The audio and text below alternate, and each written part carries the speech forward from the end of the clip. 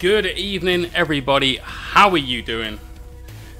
It is Thursday. It is swelteringly hot. So hot. Actually, cannot paint today. Cannot paint. Have tried glazes. Have tried regular painting. Have tried substituting all water for flow improver. Nearly to the point where I'm I'm nearly drinking flow improver at the point out just to try and stay hydrated. Horrible, horrible cases of uh, swamp pits. You know, it's it's not good. It's not good. But seeing as how everyone is going to be talking about the weather, I thought we would talk about the weather as well. And so we're going to be doing some weathering. The puns will only get worse. So, a couple of things before we get on with it. We have recently had a couple of polls for what Marine and what Necron we will be painting from the immense Indomitus box that hopefully goes up for pre order in about two weeks. When we get that box, we are doing two giveaways on release weekend. We'll do another giveaway just for people that are subscribed on YouTube.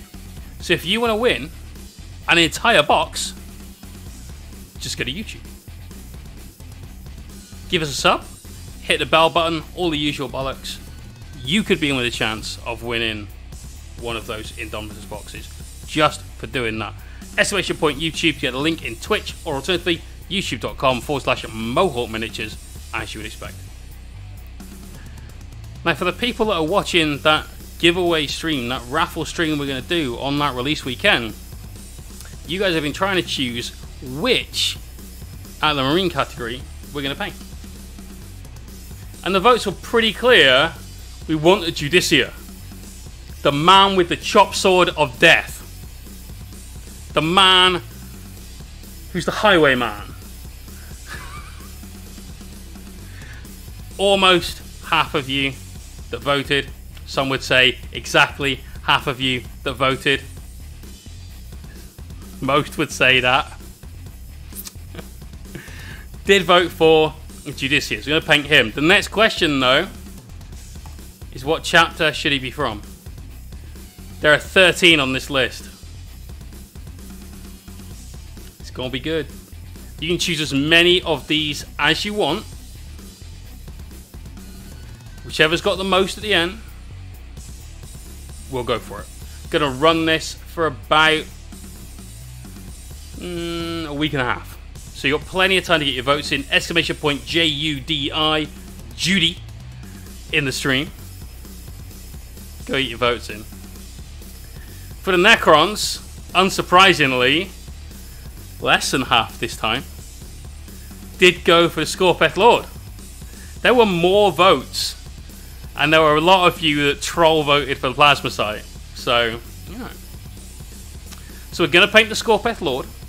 We're going to be giving away both of the painted minis, one to each of our two winners.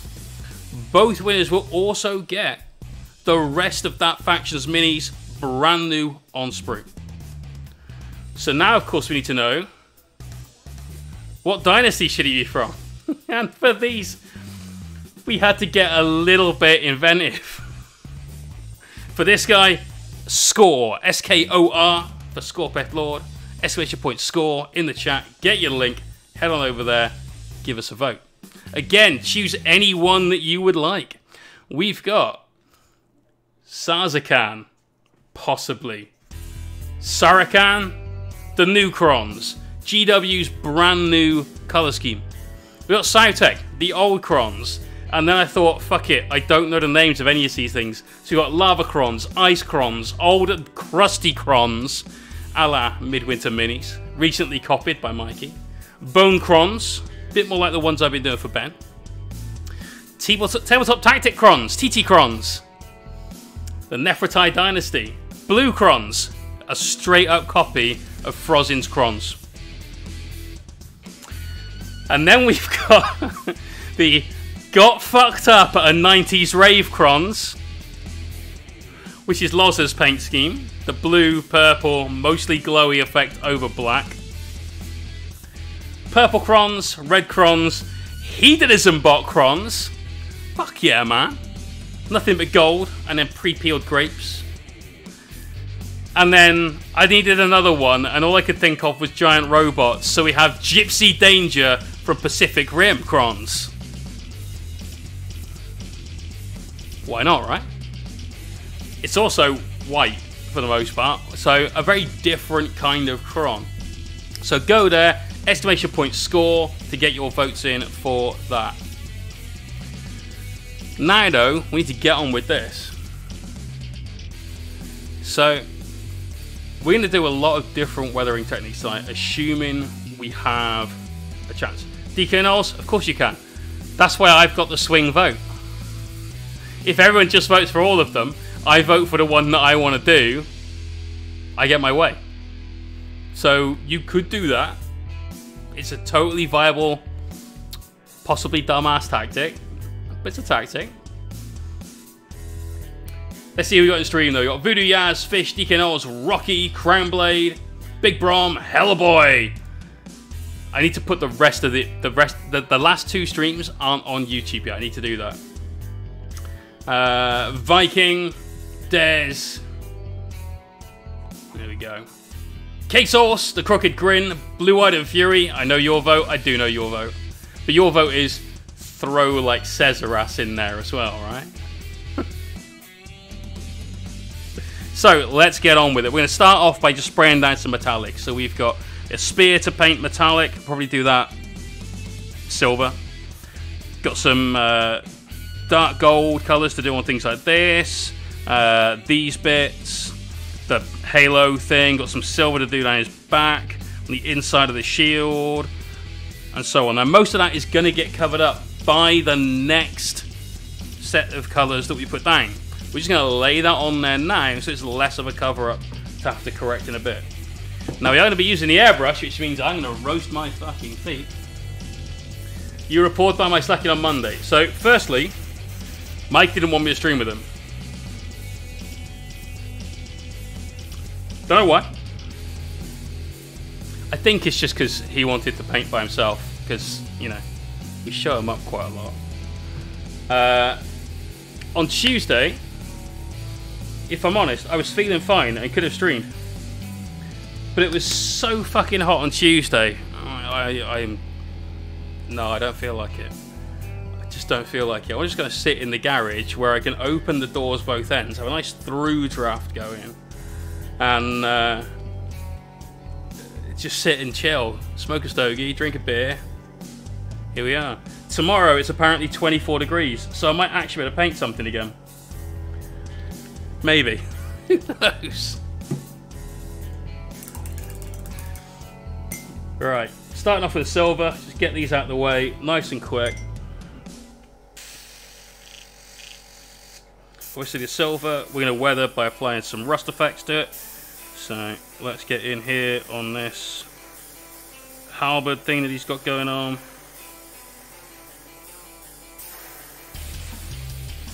And again, we know most of this is going to get covered up when we start laying down our browns and things for our chipping underlayer. But as long as we're careful with those paints and don't just throw one over the place, all of this section, for instance, we've just saved ourselves having to paint by hand. Let's get these struts.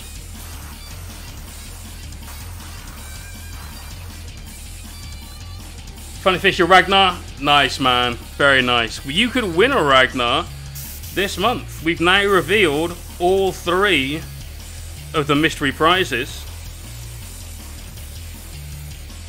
Exclamation point mystery for a bit more information. But this month, the minis so far, and I can't see there being more added, but we'll just throw a disclaimer in there for the sake of it.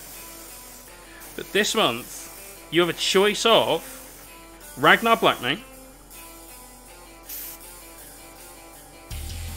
the GC Occult Abominant, the guy with the humongous sledgehammer of death. Because what's not to love about that? That's just one of my favourite things ever. And then the mystery box. You guys want to see the mystery box again? Hurtus, what up? It's going to thunder lightning tomorrow. It's going to walk up a hill and watch it all around the valley. Nice, mate. Don't take your brolly. You know, sit on top of a hill with that on. Maybe. Not, uh, not so good. Blade, you need some more material. As, as usual, in fact, you need some more material. Give him a nice silver element to his, uh, I don't know, chest piece, whatever that will be. And anything else that we're going to do, silver. Nope. Cool. Let's flush that. Give the average a quick rinse. I mean, you're repetitive, so.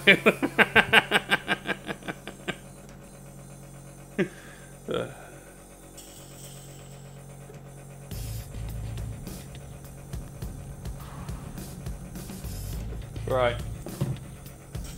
Next up, scale color. We got some Viking gold.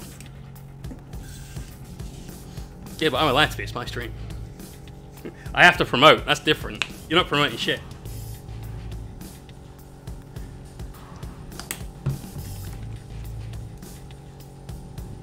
God damn, it's warm. 11 minutes into the stream, regretting this. These lights, bit warm.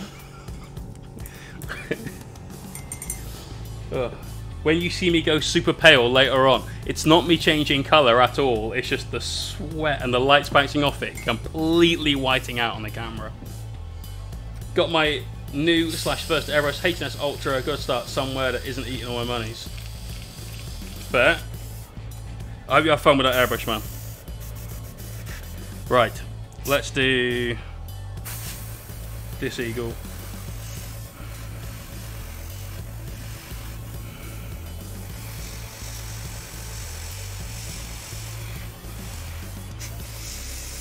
See, we're just being careful, trying to avoid some of it hitting the uh, silver there. We know we're going to have to clean it up later on, so it's not the end of the road if it does, but let's just lay these colours down nicely. Let's also hit his shoulder pad trim. Because if we can retain a lot of this, it means we can also do some crisp airbrush highlights on that later on. Let's hit this big old shoulder pad insignia thing, whatever that's all about. Get the underside, obviously. Same deal on the inside as well. Let's not forget about that. Nearly did. And then this side. So I think we finally figured out how to film because that actually looks gold on the camera. The rest of it looks silver. None of this looks blue. And I hope, I really hope, that things like this do look blue and things like this do look mostly green. Uh, still slightly blue. But I thought we figured it out. Does this look green? It looks green. That's kind of close enough. For today, that's as good as we got. Oh, how am I, mate? I, I am uh, ever so slightly sweaty, as is, I imagine, everybody watching the stream. So, it is what it is. We'll all get through it. It's not by any stretch the hottest day most of us have ever lived through, let's be honest. So, can't see a problem with this, not really. It's just a bit uncomfortable. Looks amazing. All I've done is fucking... Well, actually, to be fair, it, it, the quality is so much better than the old camera. We spent all of the weekend learning how to use the brand new camera setup uh, and then when I was sat chilling Monday, started learning how to take uh, photos with it. Uh, I've got a few issues with it. I'm going to hopefully try and get sorted out very soon. The battery seems to last literally no time. So it gets a full charge. The battery sits in the camera, gets a full charge on it, uh, and then somehow instantly dies. Uh, which I can't work out why at all. Right, any more bits? A lot of this, obviously. So let's just hit these now. This will get covered up. Pretty much all of it, but I've got some gold paint in the airbrush, so we may as well, just in case. Anything else? No, I think we've got pretty much all that. Cool beans. So let's flush all that through. And then want to paint some brown. Might need a medic to remove my rods.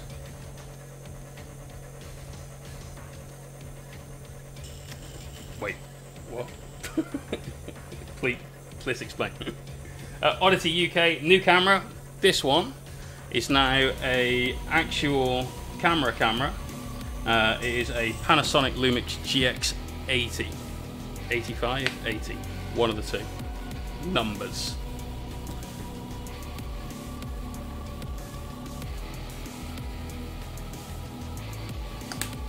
Uh, Rocky says, I'm working on the base of the 40 year old Dawn Man. Need a good substitute for pigment. What colour chalk best mimics rusty like dirt?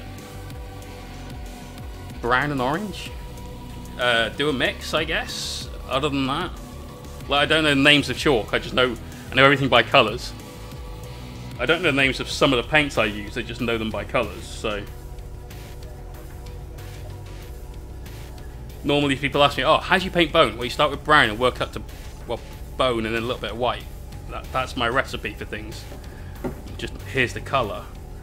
Uh, oh, right. That that makes sense, Pearl Jam. Okie doke. Got swamp ass going on then.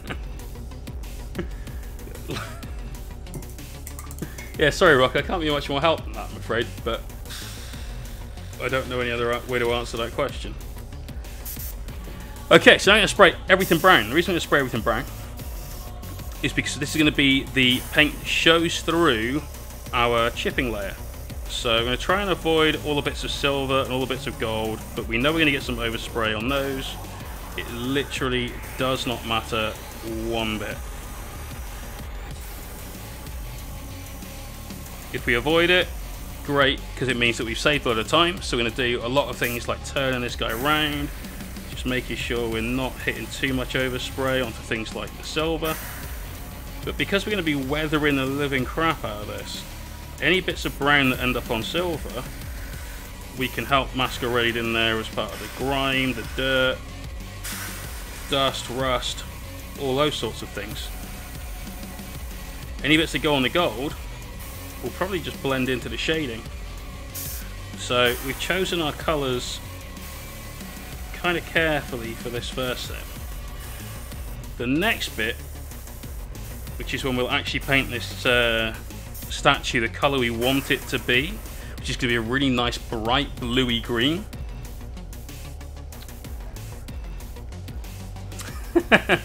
you, you you put down your huevos, mate. Not not not around there.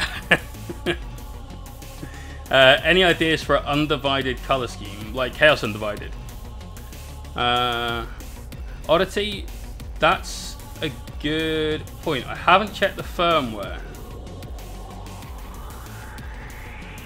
My thoughts is that it's it's possibly a, just a, a duff battery. Like I've got one that is is no good. Um, but we're going to persevere with it for a little bit and, and see. But when I got the camera, the battery came uncharged. I let the camera sit on charge overnight. Resisted the urge to play with it. Just let it sit on charge overnight because that way the battery got its absolute maximum charge. Um, so we're not like ruining the elasticity or whatever of the battery and all that kind of stuff. And I was really hoping that we wouldn't have any issues, but obviously we've just got this one. Like the the battery shouldn't run down when it's not in the camera. So it was on. It got a full charge. I took it out of the camera, stored it in the drawer, put it back in the camera, try and take some photos with, and it's it's nearly dead. I don't get it. Uh, Salvar's first time here this weekend. Had it go in the end. There is a fully painted Nurgle Demon army right above my Moe, just there. Got it all done. Was up till 5 a.m. streaming on Monday morning slash Sunday night, and then went outside, put the army out on the table because, let's be honest here, fucking sunlight is the absolute best thing to take some photos in. And the dawn was beautiful. I missed the actual sunrise bit, missed that, but beautiful blue skies, bright sunshine. It was fucking glorious on Monday morning. So, chuck the armies on the table, did a quick Insta video, uh, just tried to keep everyone updated because I know there's a few people tuning in from there throughout the weekend, which is super awesome. But my god, what a fucking challenge. It's going to be a while before we try doing something like that again. Uh, but I did enjoy it. Perversely, it was it was hard. Physically, it was hard. My back was absolutely wrecked. God, it was stiff as fuck. Um, but to be honest, it was a buzz. It was great. You guys absolutely rocked. We painted our mohawk yellow. That was fun. Uh, I still haven't sent out any of the prizes yet. Monday and Tuesday, I didn't really leave the well, I didn't leave the house at all, in fact. Uh, Wednesday, I, yesterday, I ended up with a lot of work stuff to do, so had, just had a couple of days off. Therefore, there's a lot to catch up with. My lunch break was basically me working. Um, the job that I do, whilst I love it, is very full on at times. Uh, and we've got a couple of releases coming up, which just sort of needed to be on, essentially. Um, and then today, again, it's been somewhat more of the same. Lots of meetings for lunch break was kind of getting a lot of other shit done. So, hey ho. Okay, just before three, watch the rest. Monday morning, had a couple of big raids late on. Yeah, we did, man. We did. That was that was cool. Uh, next to be I'm at Grey Knights or Custodes, airbrush the metals, wash and win. Right, firstly, have you seen the Custodes I've painted? Nothing even close to, to, to that process. And the Grey Knight army that I've got that's currently being built and should be finished real soon by Hobo J is all non-metallic metal. So, fuck that noise.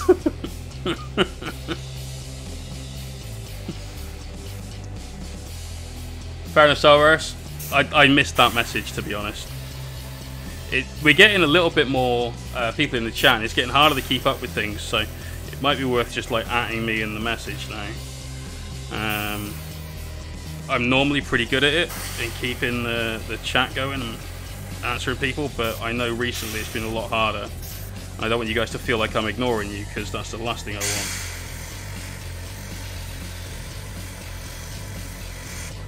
Right, let's get Lefas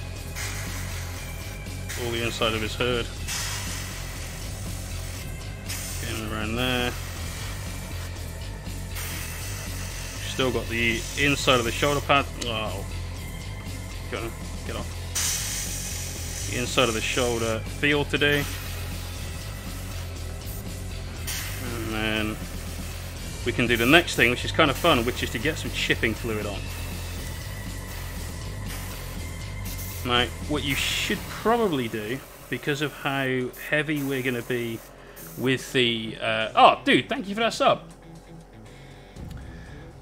Much appreciated, dude. Um, yeah, what we're going to do is we're going to go without gloss varnish. And we're just going to be a little bit more careful than we would normally do. Uh, if we do get any bits of the primer showing through, that's just really dark weathering. Like this is a bit of a sort of introductory guide to so some of these techniques you'll want to use some of them will point out some other bits that you can do but we'll try and get a lot done today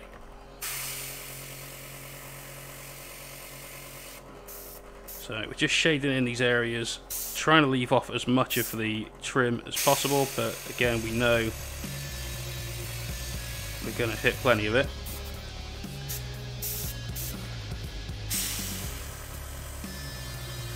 It's going to be really evident when we start throwing some greens down on this as well.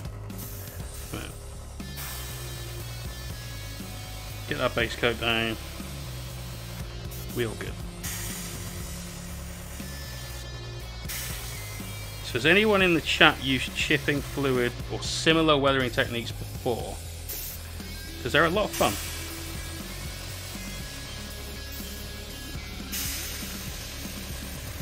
You've seen me do a lot of painting of battle damage recently, so on the Imperial Fist.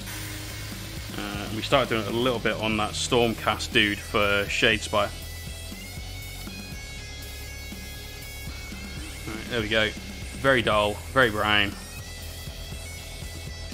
sure we don't skimp on those. Happy days.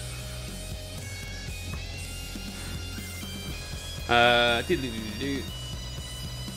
Jason did better about 345. I did. Yeah, yeah, I did. Um, Hellboy, it, I was very impressed with that. I thought it was just mentalness, though. Like, people just staying in to see at what point I'd actually break. We were close for some of it, but you know. It was epic, though. Fucking epic. Flash and Dash, what up, dude? And Lordy, how's it going? Uh, better than enough times at work and I spent hours cleaning out a new garage. Talk about Water Spider. Brilliant. Brilliant. To be fair, I did absolutely tear the garage apart a couple of weeks ago. Um, everything out of the garage, hoovered the garage, just so that's where I could set it up for my uh, my little stogie area. Mr. Brutal, how you doing? Right, pet. Here we go. I did like your picture out in the garden of the sunrise. It, it was good, man. It was good. What do you ask you about inks, or center insulet chip fluid? Okay. So, Salvirus, uh, definitely don't use GW Metallics or an airbrush. People will tell you they can and that they have and they've done it with no problems. I don't do it because they're shit. They're total, total, total shit. Um, the metallic fleck is slightly too large for most airbrushes to take. It clogs. It, it ain't good. Chipping fluid though. Let's let's have a quick chat about this. It pongs. It's it's kind of one of those like smelly hobby um, things. Basically, what this is going to do is it's going to put down a layer that can be activated by moisture. And what that layer will do is it will form a barrier between this brown paint that we've got down and then although I just realized we missed a little bit on top so no weathering the very top of this shoulder that's what we've got to remember uh, and then when you reactivate it with water, the paint that's on top of it will sit on this layer. This layer will then dissolve and turn to water when you just knock it. And that paint will be pulled away. So you'll be able to see the base colour underneath the colour of paint that you've laid down. So if you've got, for instance, a brown paint job underneath, like this, and then you put, for instance, some green on top of it, when you reactivate this by spraying water at the model and then get something and just gently sort of attack the paint, you're going to see brown come through under the green. It gives a very, very realistic weathering effect because the effect you're getting is 3D. So let's just chuck a load of that in the airbrush. Hopefully that'll be enough. And I'm going to give the whole thing a pretty liberal spray. Smelly hobby thing is, is not very specific. You're absolutely right. Why not just use salt? Because I don't like salt weathering. Um, this way is quicker, I think. And this way you've got a bit more control over as well. So you could use salt. Salt weathering is another technique. And we've seen that in the WIP gallery once or twice. Noticeably on some Nurgle tanks And salt weathering is where you basically can spray the model with something like hairspray. That's a good product. Once your hairspray is on there, it's kind of tacky. You then absolutely chuck a load of salt all at it, and you can use any kind of salt. I've seen people using the gigantic grains of salt that look like stone. I've seen people using normal, everyday sea salt. That was totally not enough. But that's one of the ways that you can do it. You then chuck down your paint on top of that. The salt gets in the way. You put water on your mini. That helps to brush the salt off. I'll tell you what, there's fucking Thai people out there that need some water thrown on them after today. Um, and there you go. You've left yourself holes in the paint, the coat of paint that you've applied over the top. Shows through as weathering. What it does mean is that, like any stencil, you can end up with just a load of fuzzy edges, and I don't like that. If you think about it, if something's been scratched and torn and broken and, and everything else, all the other sort of describing words that we could use for something that's been weathered, soft edges is not one of them that you choose, is it? Would you paint the base coats with gloss? Crooked grin, quite frequently, I would, but we're going to try and get this guy done fast. So as a result, we're going to be slightly less abrasive with any of our methods that we use to remove some of that top coat of paint. Once we've got all of the weathering done, the chipping part of it at least, then we're going to gloss the model to stop any of the chipping fluid reacting when we put something else down on top. So rather than doing two coats of gloss, we just do the one. Uh, what we're using now, this is chipping fluid. This is the scale color heavy fuerte chipping fluid. Comrade Son, what up, dude? Wouldn't the salt look more random? Well, yes and no. Like, you've got to place the salt on the model. Now, admittedly, you could just chuck salt at the model if you wanted to. But otherwise, you're placing salt on there, in which case, no, it's not going to look random because you're placing it. And if you choose to place it without a pattern, then you can choose to do the weathering without a pattern. It's a skill that I learned when I was a chef, something that is very, very important to anyone that works in a kitchen, especially one that does fine dining food is the ability to plate things up so that they don't look organized, but still, obviously, you've had to place them on there without throwing them on any old way, shape, or form.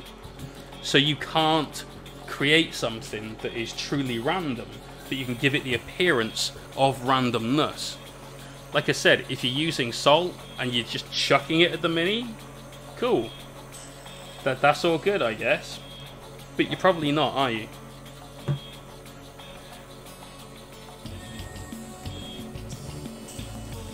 Fuck, wait. Oh, yeah, yeah. he said pass. Like, what the hell is he talking about?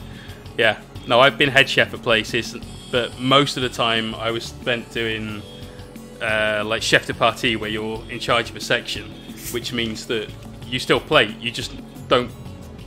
It's not the final sort of check. Somebody else has a look.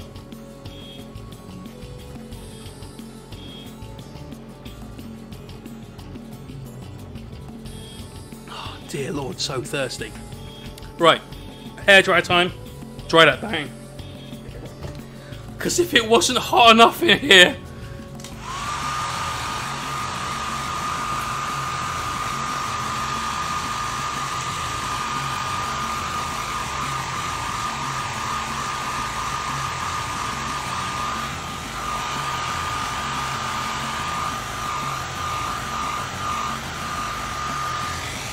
if you cook fast food, you're not a fucking chef.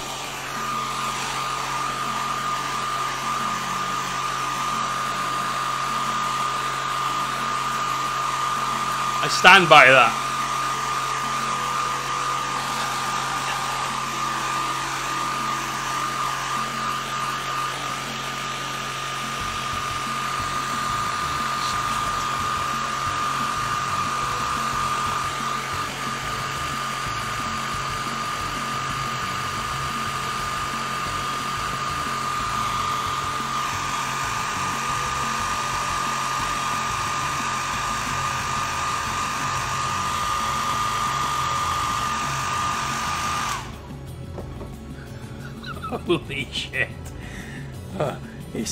Just gone up by about a thousand degrees in here.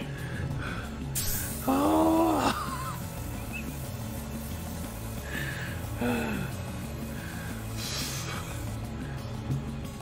Good lord.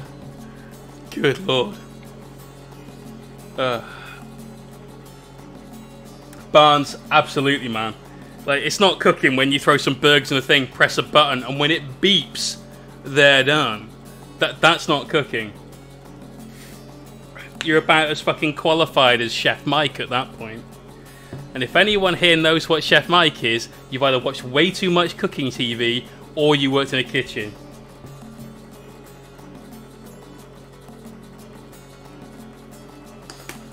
Right, let's start out with.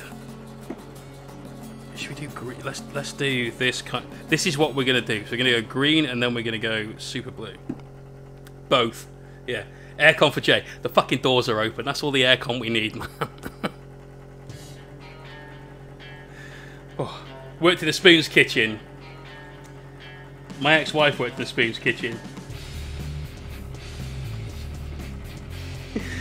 I did all the food at home. I did all the food. Chef Mike, fastest chef in the back. Yeah, man.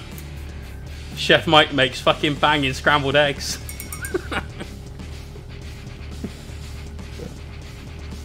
Need that defrosted? Chef Mike will do that for you, don't you worry. Oh. Fuck me. This is crazy. Right. Let's see if we have worked out the light balance for this. Hopefully this doesn't come out like blue. Uh, let's do that red, because why not? Let's let's make our lives harder and do that red. Chef Mike makes the most of your pasta at Chains too. Yeah, that's right. Yeah, enjoyed that lasagna at Spoons. Chef Mike cooked that. Bit of Bella Italia recently, and anything that wasn't pizza, Chef Mike cooked that.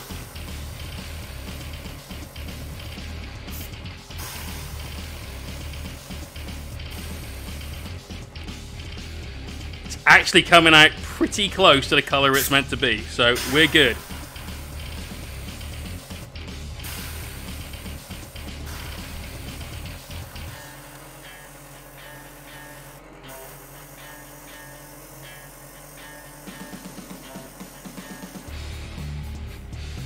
Damn, that's a nice bright green. I worked in my nan's pubs. Okay, you weren't a chief. Like I, definitely, definitely weren't a chief. Like, unless in your nan's kitchen it was Tex-Mex and they made you wear a headdress. At that point, maybe you were a chief. Seven chef mics. Mate, the last place I worked at, the last kitchen I worked at, had one chef mic and you had to plug it in when you wanted to use it and get it out of a cupboard. We, did not. In fact, the only thing I ever did in my entire time there, using Chef Mike, was warm up sauce for sticky toffee puddings. That was it. Job that was kitchen bitch, dude. Absolutely. But kitchen bitch is one of the funnest jobs you can have in a kitchen. Especially if the chefs like you. Like Kitchen Bitch or Commis Chef. Fuck me, you get anything if you get on well with a chef. Part of me wishes I'd never gone past Commis in any kitchen I'd ever worked in. Because if you help the chefs strain their stocks and if you make sure they've always got pans and drinks and everything else. So yes, actually being the kitchen bitch if you do all of that, anytime there's food left over, oh, we got a bit of steak that we didn't sell tonight. Do you want it? Yes, mate. That'd be great. Mmm. Captain One what the fuck is Chef Mike? Chef Mike's a microwave. I, I the first time I ever heard it was in some kind of chain-ish restaurant, uh, which unfortunately was Raymond Blanc's Le Petit Blanc. I was, I say going out because it's classier than what was actually happening. Uh, but I was going out with one of the girls that ran the bistro, and one day, all their chefs just fucking phoned it in. Like the owner apparently was a bell end, which is what caused it all. But not owner, the, the manager. Um, and so all the chefs just like just decided, no, fuck it, we've had enough. We're, we're not coming into work. So they scrabbled around asking anyone that had mates that were a chef that could come in. So I'm like, okay, I'm not classically French trained or anything because that was never really what I was into and didn't go to chef school. But sure, I can do most of the stuff on this menu, I reckon. Fucking rock up and everything is Chef Mike. Everything is Chef Mike. All you do in that place is plate everything and charge 25 quid a head. Absolute bullshit. You had zero chef fight? Yeah. Honestly, mate, self-taught chefs understand a bit more about what's going on. They haven't been brainwashed. They've had to learn it. So you had to learn it on the job from another chef. And I'm not knocking anyone that ever went to catering school, culinary college, you know, got your cordon bleu going on or any of that sort of stuff. If you managed to do all that, then you guys absolutely rock. But for those of us that didn't, you either have to be awake while you're on the job at all times to be able to learn, or you have to finish the job, go home, and then do some cooking to work out what the fuck you've you've done today. So I did a lot of that.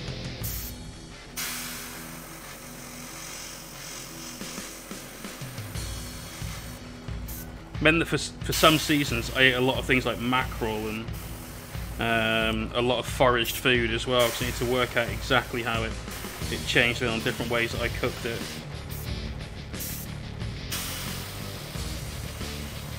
I did about a billion different fucking dishes with uh, wild garlic in. Put it into pesto, make salads out of it, tempura the flowers. Uh, fuck, what else? Um, uh, wild garlic arancini. Mmm. Mmm. Mmm. Mmm. Mmm. Mmm. My god, I'd kill for a plate of that right now. That that shit's super good. With some proper mozzarella. None of this supermarket crap.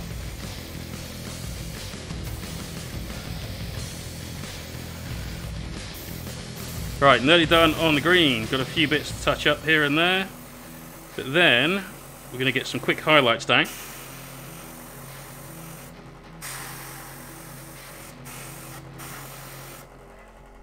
Then we can start... Oh, I did a red. Highlight that, and then we'll do the chipping. What time are we on? Quarter ten. Cool. Should have all the all of the base colours down and be ready to chip by 10. That's the goal.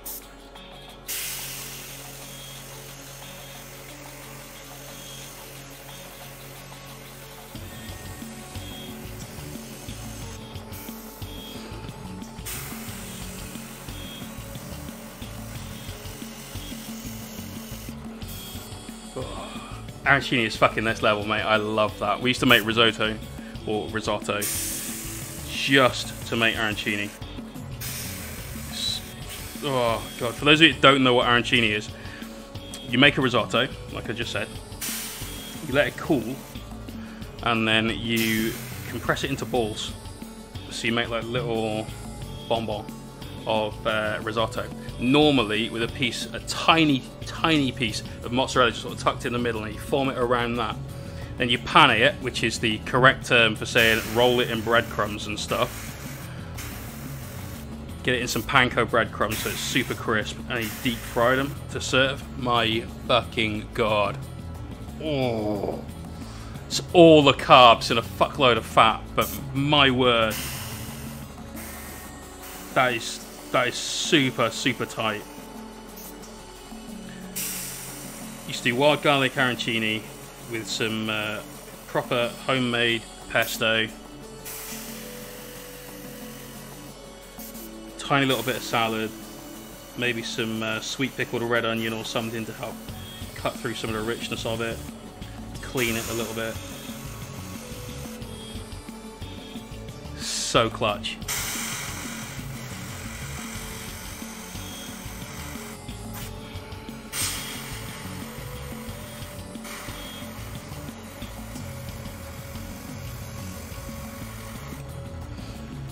Right, is that all green? We got all inside his herd. Yeah, pretty much. Give it another go just in case. Groovy. So you got a nice bright, rusty looking green colour anyway. Bang in. Let's flush this out, get some red going on. It's weird, I've never heard about the phrase Chef Mike, but I immediately we're talking about. That's because you're a legend, Crooked Grin. Uh, Rojo. Let's, let's fuck around with some of this today. We're going to use some of this Khador red base, see what's going on with that. And we need darker red. Let's just chuck a little black in it this time round. Work with that. See what we can get out of this colour. Where to what scale 75 from in the UK? Estimation point element, my friend. Get yourself over there. I get all my scale 75 paints uh, and pretty much all my P3 paints uh, from there because my local stockists don't stock any of those. Uh, in fact, another one of my local stocks just dropped Vallejo from their range uh, in favour of MIG. So, there you go. Right. Pretty much Element gets all my business right now. Well, I did spend some time on the phone today with the guys over at KR Multicase and speaking to Battle Foam as well, trying to organise some cases for my Imperial Knights. And uh, Battle Foam will do a solution that kind of barely works uh, but KR will do a solution that absolutely nails it for what I want it to do. So I just need to wait for the case I want to come back in stock, which should be within the next sort of week or two, and then boom, flight-sized attache case for the Knights. Totally didn't smash that light in. You recommend an A case? Yeah, I've looked at them, man, but my god. My god. So A-Case were... Um, they had a different name originally. They Kickstarter with a different name. And they do magnetic cases. And they look sick. They look super sick. They got a load of pull-out drawers. I can easily get one that is the exact um, size and sort of dimension of the EasyJet luggage restriction for your carry-on. Exact. Alright, sweet. Let's have a look at this. Holy fucking shit, it's 270 quid.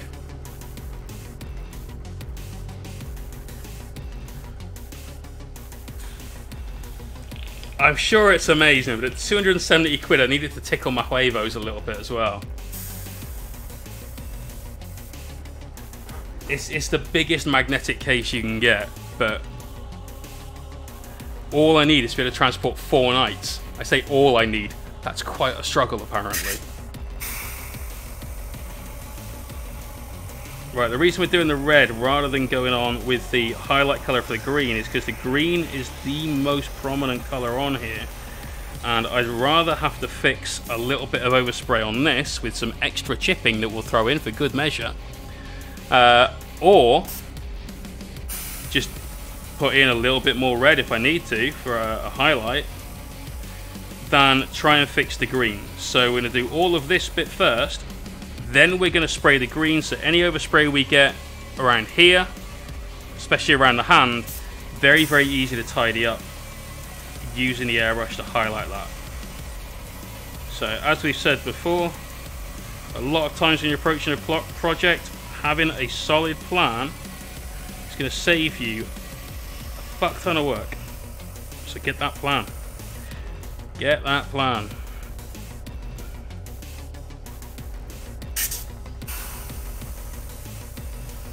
Alright, gonna get the hairdryer and give that a quick blast because clearly it's not hot enough. Should we do his shoulders red? Instead of green? No. Nah. Nah. 270 quid, you can just buy their own plane ticket. Yeah, exactly, right?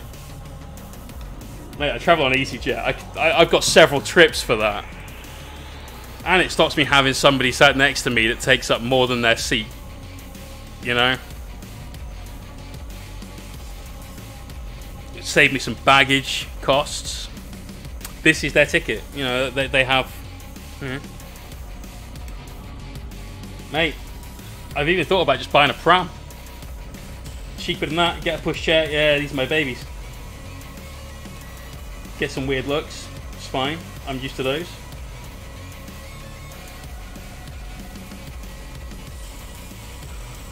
But yeah, the KR case is literally half that price. So, it's kind of one of them, isn't it?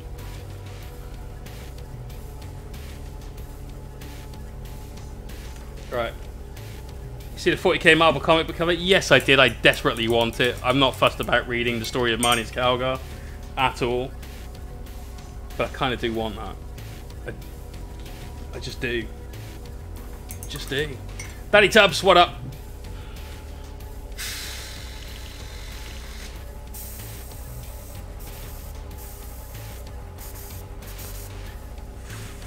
Fuck it, let's just wet blend. It's too hot for the hairdryer.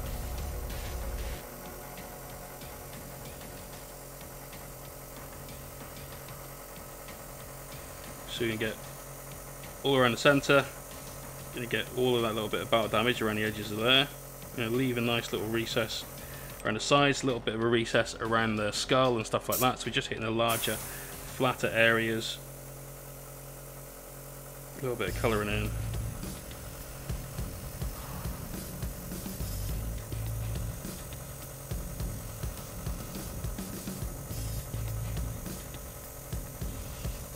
Not fussed about getting a full coat on there. We want to get a little bit of contrast. That's looking extremely orange.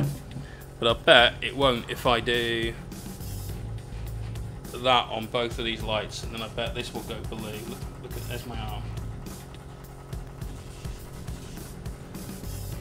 Damn, that's that's that's too bright actually. But it, it still looks orange. That didn't work at all. Still, still learning how to use the camera, obviously. Uh, I got six of the card ones, always less protection you get in the bottom of the car. Phone's bang on though. I've seen one of their card ones here, like the next commission I've got, which is some uh, orc planes for Aeronautica Imperialis. Uh, I've been sent in one with the foam that's been been attacked by moths again. Look, go away. That's not on my water bottle, you Burke. Um, yeah, and that's that's what made me think. You know, th this is a quality product, and they do have one that's a cut out for an Imperial Knight. Uh, I will need to just trim them a little bit more because my knights have their own scenery that goes with them. Uh, but it also leaves a bit of room for just the extra things like books, dice, tape measures, all that sort of guff that's going to go in there and all.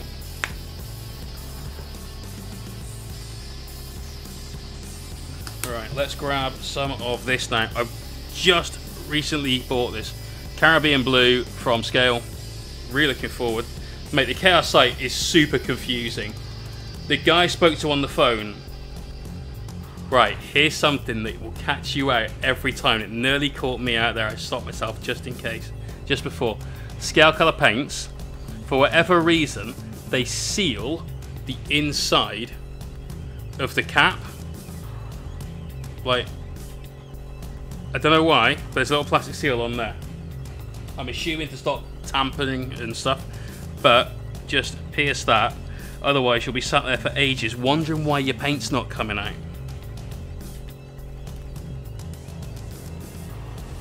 Yeah, I spoke to the uh, the KR rep, and I was like, look, please don't take this the wrong way, but I cannot for the life of me understand your website. Uh, I just need some help. I need to know how many of these go in there and what that can actually fit and what it means. Why do your faces always look busted? Um, what are you using as inspiration, Rock? Because, like, don't use this one. Just, just, just don't. Uh, weapons on or off? Yeah, we're going to be on with the weapons off loadout.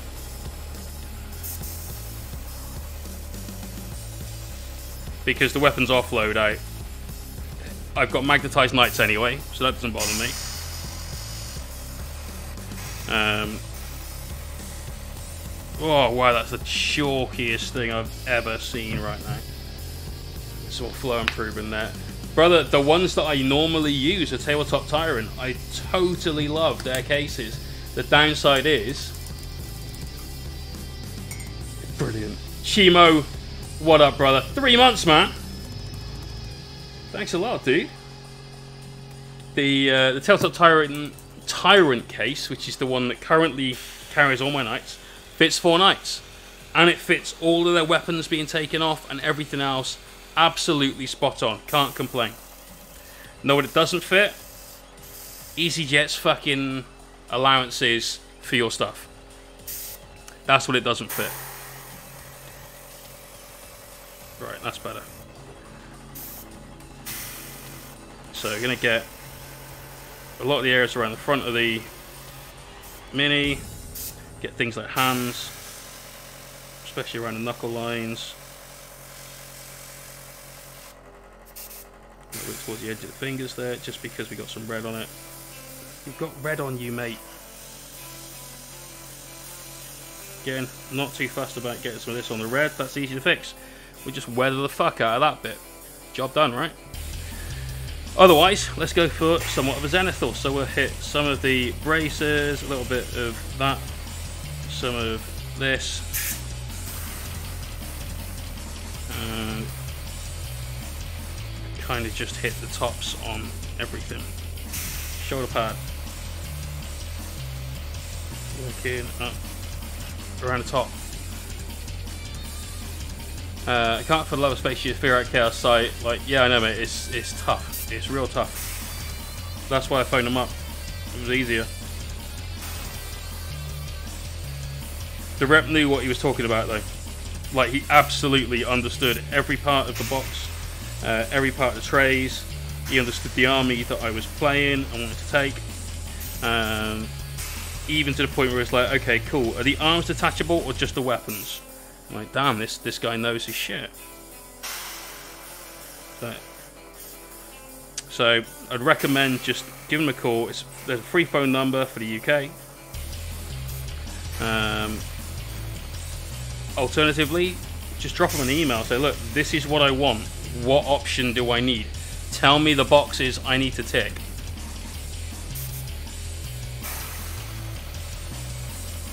Right, just going to hit some of these creases.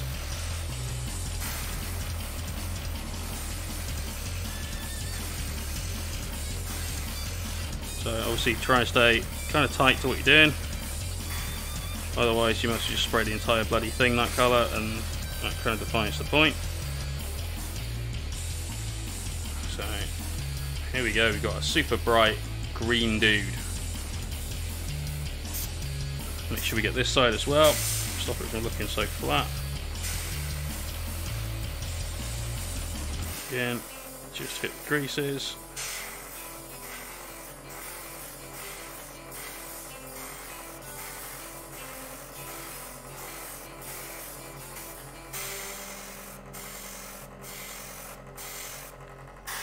Edges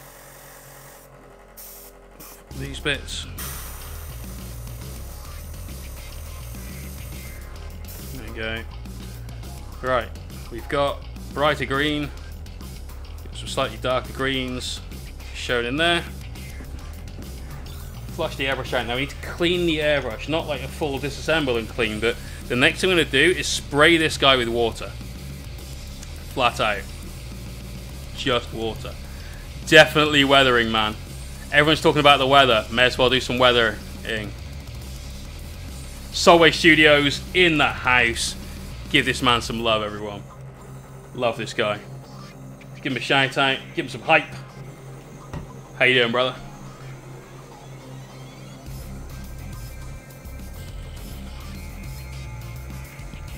So there you go, all weathered. That's a rusty statue. Done. Next.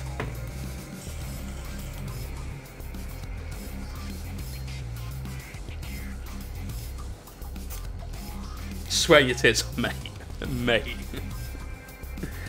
Oh, we got some uh, coddled eggs right now. It's not good. Everyone, if you don't follow Solway, what's wrong with you? Right, again, because it's not hot enough already. We need to not hair dry that in my lap as well.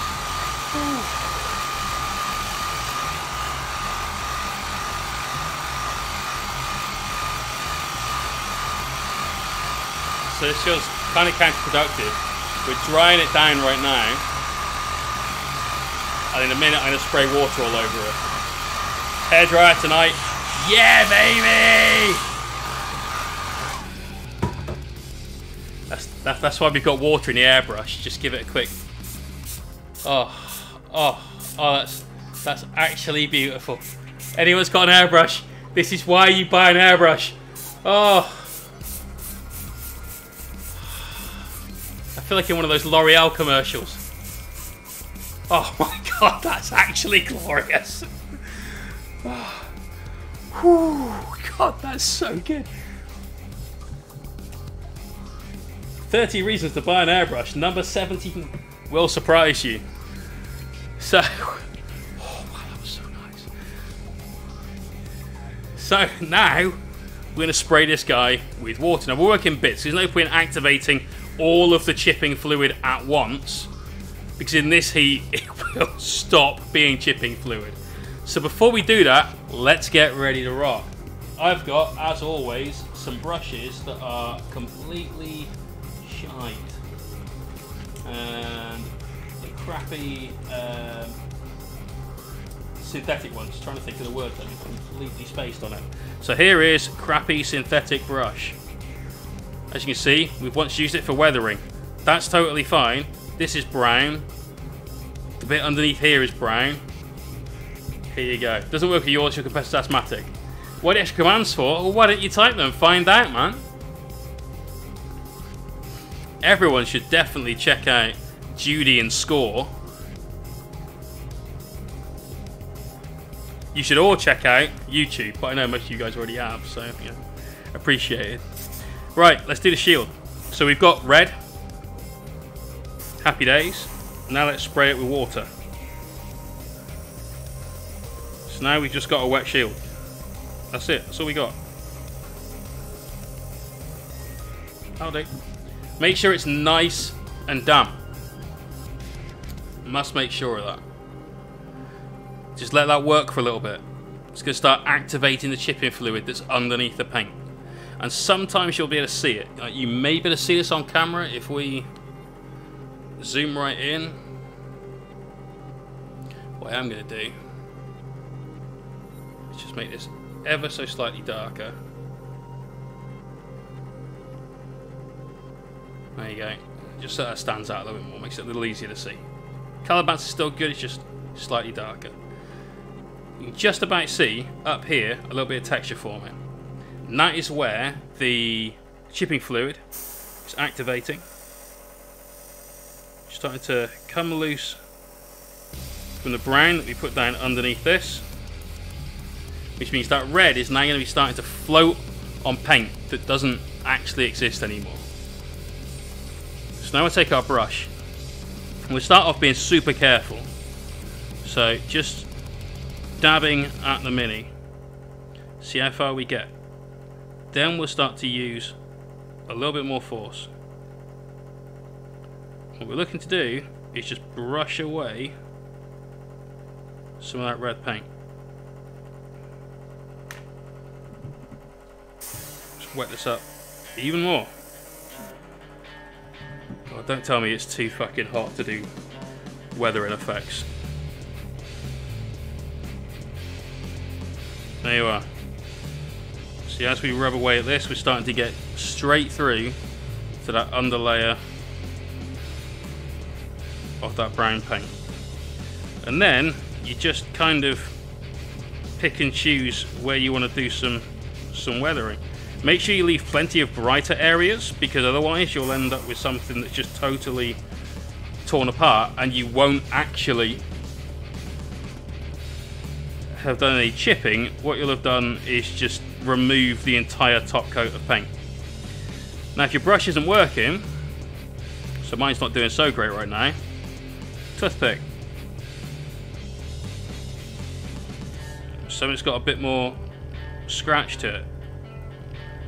Now be careful, obviously, you're going to start pulling away any of the paint that's on the top surface, exposing some of the browns that we've got on there.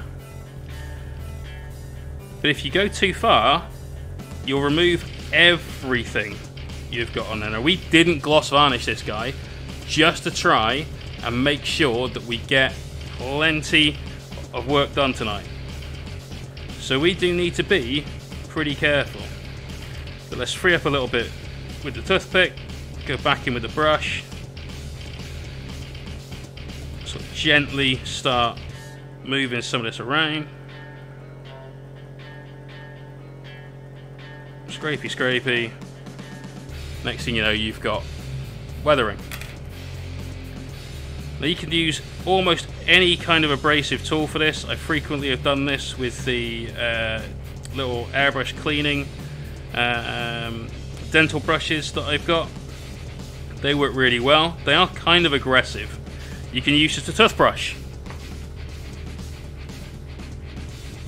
So if you say you've got a large area to, to do, you can just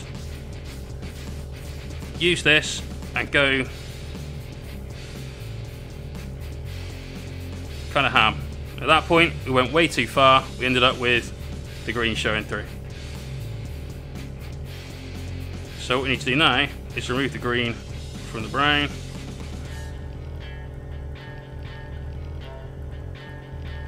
Just by brushing away at this.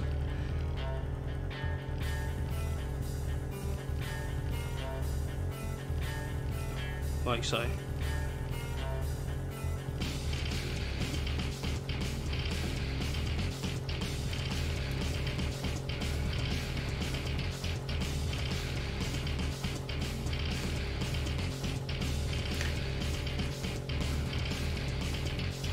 There you go.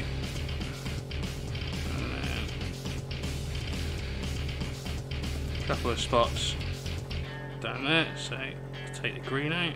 Of course we forgot when we decided at the last minute to paint the shield red that we put the green down. So don't do that. Have a plan. Stick to the plan. Don't don't fucking improvise like we did. There's some weathering on that. Anywhere that's green, we just come back in with a brush and just pick it up. Easy peasy. Can you do this by hand or is it airbrush only? Uh, if you're going to do it by hand, you may as well just paint the weathering on, similar to how you've seen me do it with like the Imperial Fist and so on and so forth, right? Because at that point, you're going to be doing it that way anyway, and that gives you a very realistic sort of 3D effect but you're in a little bit more control and obviously we've got a completely submerged bit down here so we just be careful in there bit of tissue dry that off and there is our weathered red shield obviously that part doesn't look good because we've got the, the green but we can fix that later on Let's just work this section. So again, just spread a little water down.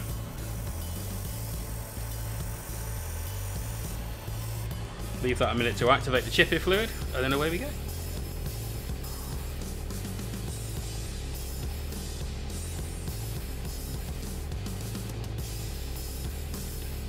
Yeah, that's right. So what Solway said is pretty spot on as usual. So that, that's why I would just paint on battle damage. Rocky, peace out, man.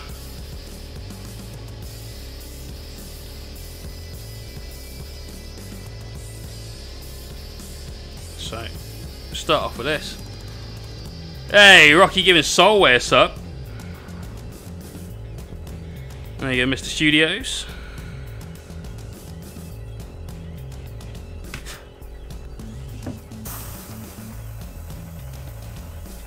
Get some of that off of that. Let me just give you your meeps. So Solway, you're now eligible for the giveaways.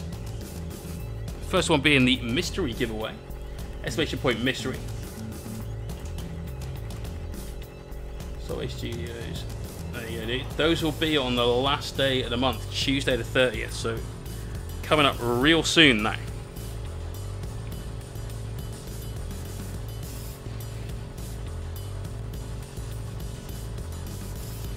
There you go. You can see this is working much, much, much better.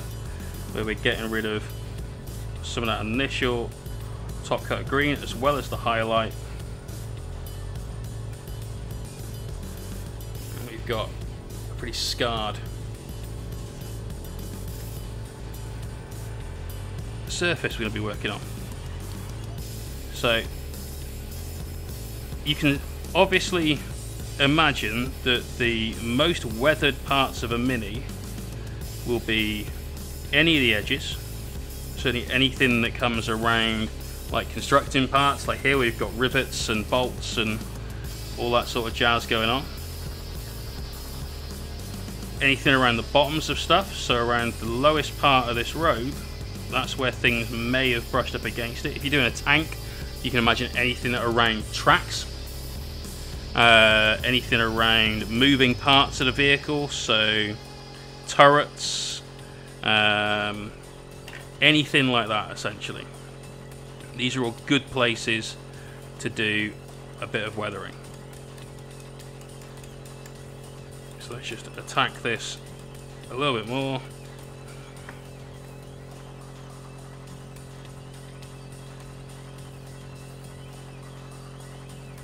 And then let's say we want it to do something slightly different with our weathering. We can just add in some scratches. So let's just dry that down a little, make it easy for you guys to see.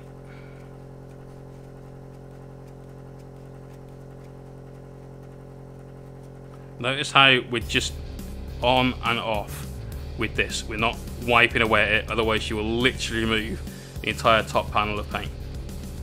So you see loads of very quick and easy ways to weather something. But let's keep going.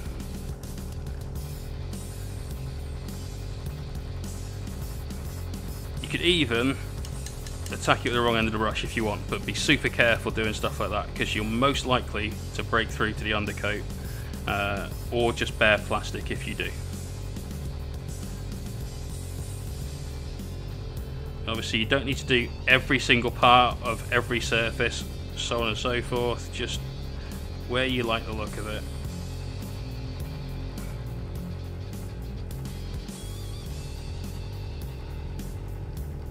So if you look at that side,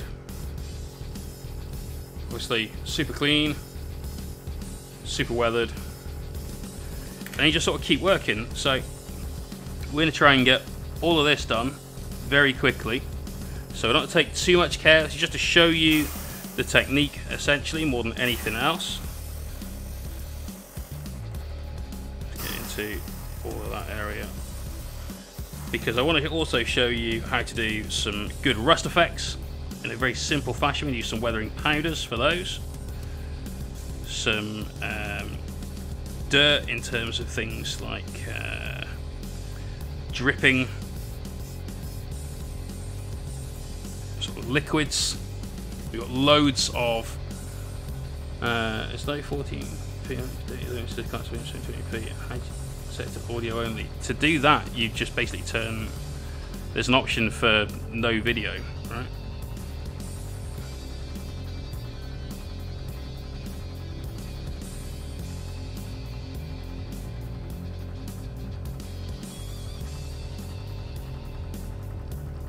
Right, gonna be a bit more abrasive. Up here, give it a few good jabs. And then, as before, just carefully clean those areas up.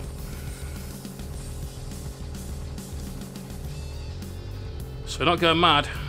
Mm. Plenty of weathering, but not removing all of the paint. Certainly from areas like this where we've got impact craters and so on, kind of a good idea to add some weathering. You'd expect it to be pretty buggered at that point. Add some water to brush.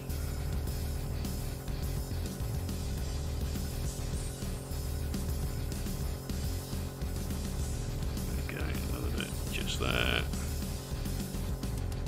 Now obviously, when you're doing this sort of technique on something, you're probably going to be taking a lot more time over it than this. Like I said, we're going pretty quick fire, just to be sure we can show you guys couple of different techniques to weather.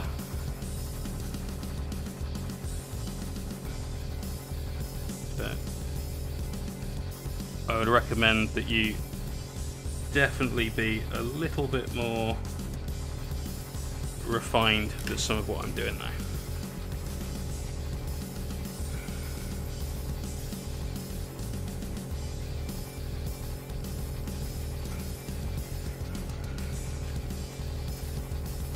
Show you what does happen if you start wiping it with the uh, cleaning equipment, it just removes paint.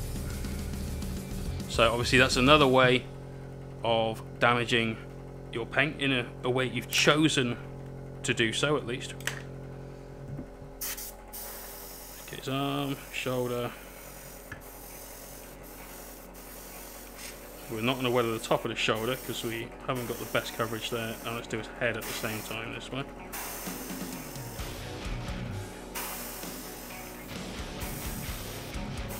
So how else can you apply weathering that has a similar kind of finish to this. There's one definite way that normally springs to mind, and most people have got loads of the thing they need chilling out at home. Normally from things like an army case that they've bought. Who's got any ideas in the chat on what we might be talking about?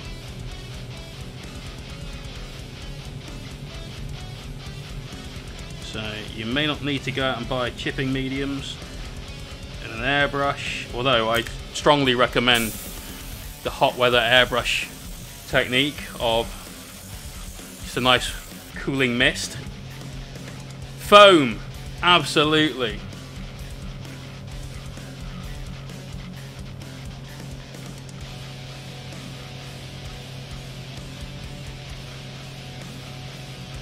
Uh, when you see these data limited, I imagine it's like bandwidth then, rather than anything else. Right, just at this crease of this guy's elbow pad. Let's get a bit more weathering on there. So there you go. He's got a pretty battered shoulder, uh, shoulder, elbow. We just said elbow as well. Just get a little bit in here where there's a little bit of molded battle damage. There you go. So you could just use foam. You could dip it in some brown paint, get a lot of the excess off. You don't want to necessarily paint it brown, just sort of stipple it with some foam, brown. Now if you're doing that, there's a couple of different ways that you can go about it. The one that I I recommend because I prefer the effect you get at the end is rather than paint the mini with your brown and then maybe go in and highlight it afterwards. I go in with your highlight colour on your sponge and then go and paint brown in afterwards. So one side to the other side. By the time we've got some washes on there, darken down some of those recesses, it's going to look pretty good. Just get a load of scratches in around here. Attack it with a brush a bit. Now earlier on we were talking about making sure patterns are random. This looks pretty fucking random to me.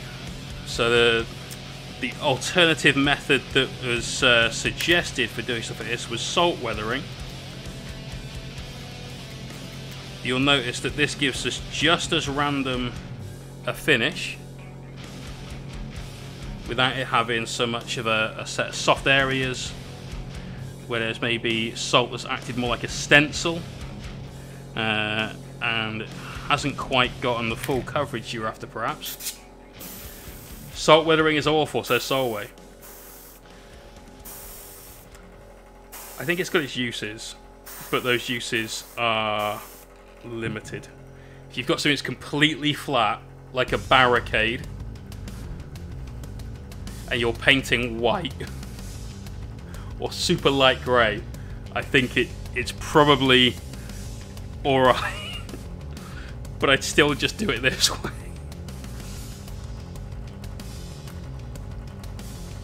It's also a bit of a mess.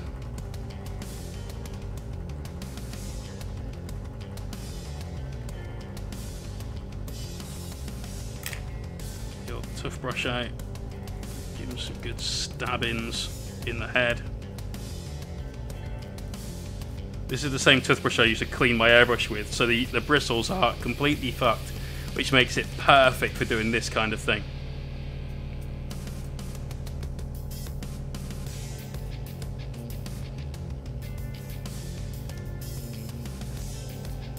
They're super soft.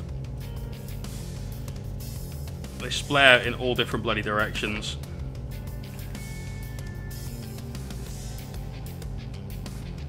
That's not, that on there, it's just some piece of jub from where we've rubbed some paint off. Sorry mate, you get a chin butt. There you go. One chin butt later. This guy has seen some better days.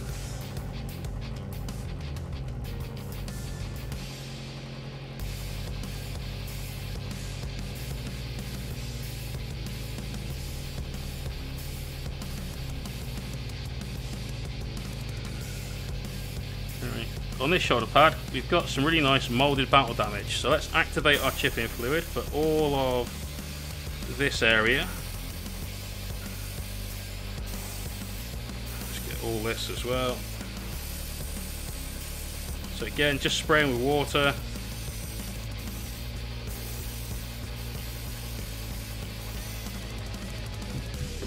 Sarah Q1, thank you for that follow and welcome. Uh, it's only used if you hate yourself. Too much cleanup, subpar salts with hairspray slash medium so you do these days. There's no reason to ever use salt. I totally agree with you, but there was someone in the chat that was adamant that salt weathering is super good, so I was kind of just like trying for him. but I, this is the best way to do weathering that's removing a layer chipping fluid is absolutely spot on. And you can see how easy and how quick it is, right?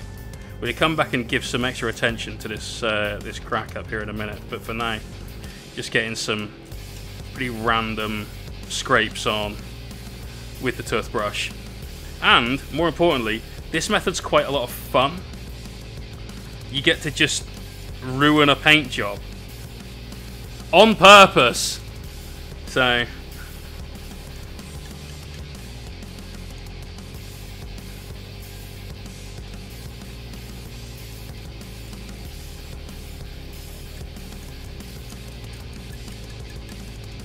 go. Hit it with this brush now.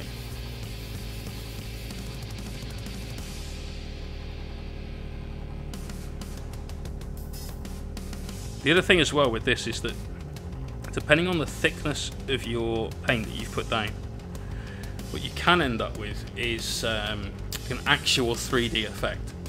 So let's say we've done like four or five passes with this, a couple of different highlight colors building up from very dark to very light, by the time we start to chip away up here, where the lightest bit is, you might end up pulling several thicknesses of paint over, which will leave a genuine 3D effect on the model.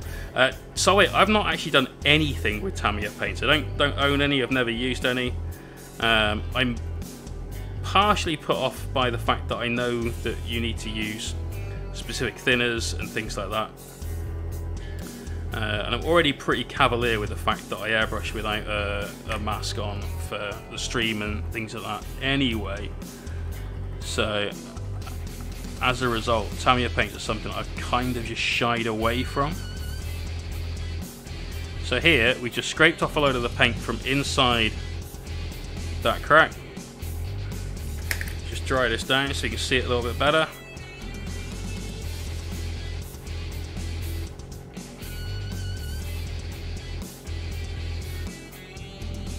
Yeah, this guy's definitely had better days. Definitely had better days. Try all this down. Right, the next step is going to be getting some gloss varnish on. Seal down all of the chipping fluid that we put on there. Stop that from coming off. Reactivate it. So a nice thick layer on there. Also, by using, we've completely missed the back of his shoulder pad.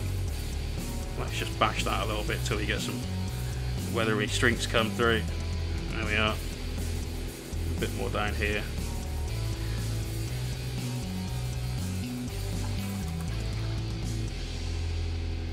Also, by using a gloss varnish, it'll help our oils, which we're going to use in a minute, get into some of those recesses, panel line a few bits and pieces nice and quick for us.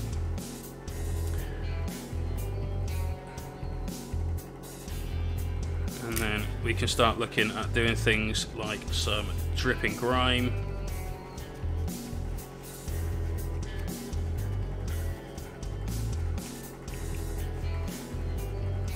Cool, but there you are. Let's zoom out just a touch. There is our very weathered, very quickly statue.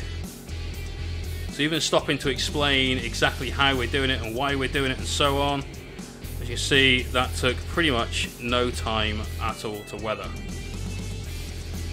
Definitely something that looks interesting on the battlefield, if nothing else. Right, brush in there, ready to have this cleaned top. Thinner. Uh, that's because the acrylic resin crystallized rather than plasticized such stable liquid so it'll scale touch surface you down so when you use the water for effect which meant really easy isolate grain of the one. Ah, fair enough man. That I didn't know. I've, like I said, I've never used them. Um, and it's something that I've intentionally not used right for uh, like reasons of breathing and, and things like that.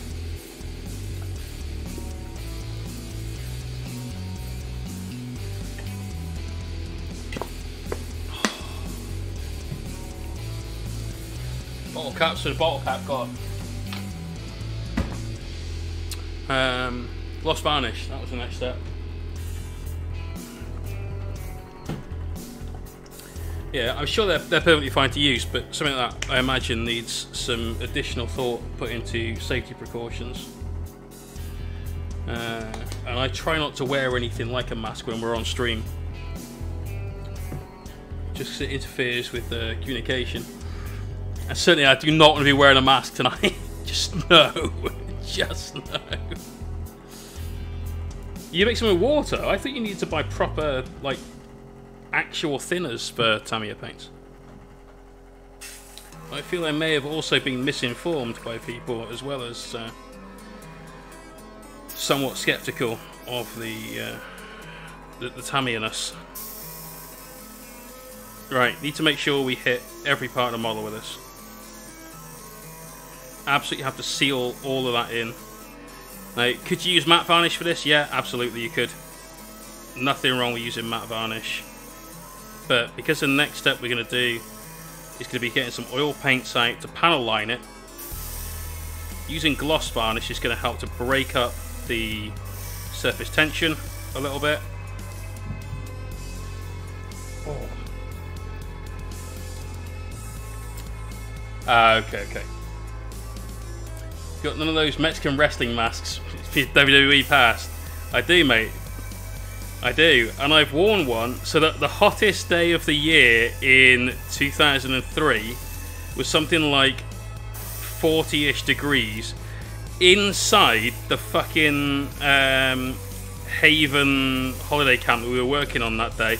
Inside their club, it was about 46. 46 degrees. It, it was it was horrible, and as you can imagine, wearing a luchador mask in that kind of heat is is is uncomfortable, and that's putting it extremely mildly. Unfortunately, the day before that, one of the guys that was on tour with Matt I'd had a falling out with the promoter because the promoter was a bellend. He, he genuinely was one of the most dickheadish people I've ever met in my life. Um, he and the promoter had had their, their issues. Matt had decided, this, I'm out, I'm, I'm not working with this guy anymore. And had asked me the previous night to drive him from Blackpool, which is where we were working, to Manchester to meet a mate of his who would give him a lift back to Cheltenham. Manchester to Cheltenham, like that's that's not a a, a, a short journey, you know. But that's that was Matt's great plan. Was well, look, I've fed up with Texas fucking Pete.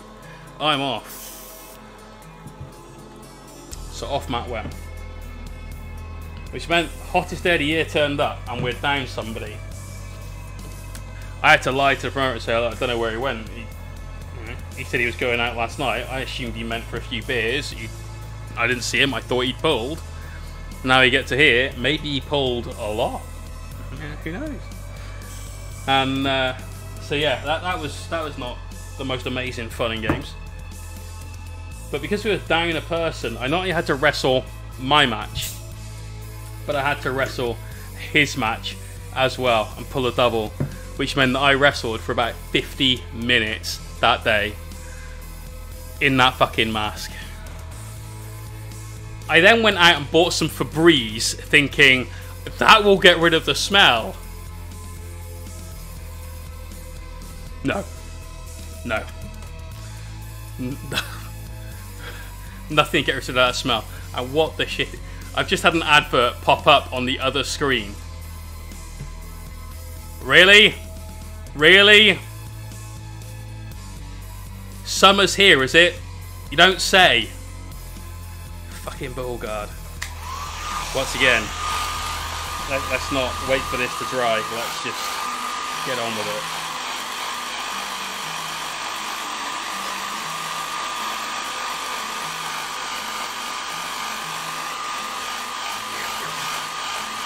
A sweaty hand.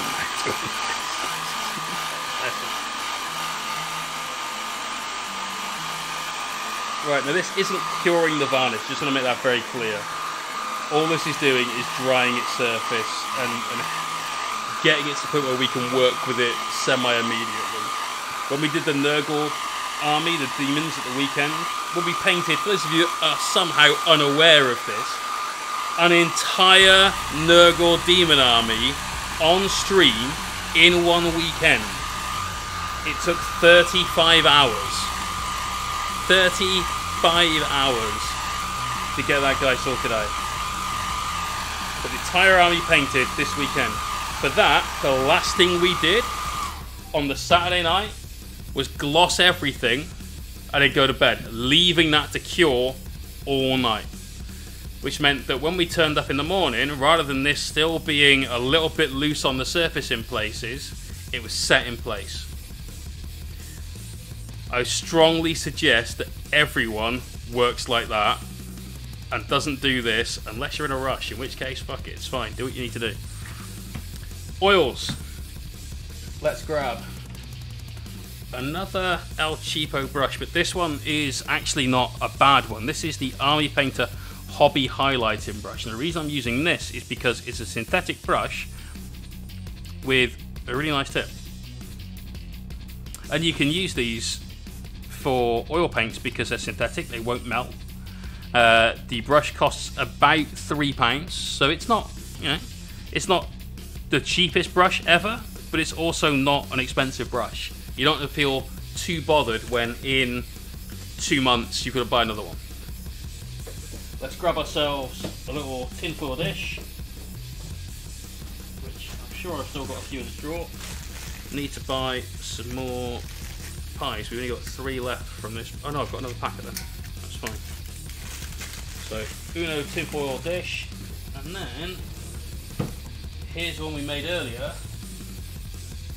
Whenever I do some oils, wow, it's actually set. There's one we made slightly too much earlier. Can we re just rescue that with some spirit?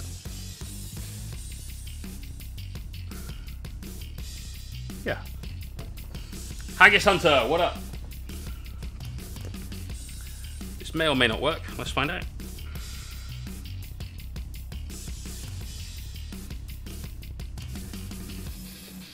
But normally when I do some oil painting, get some balls in that. I've got one, don't you worry.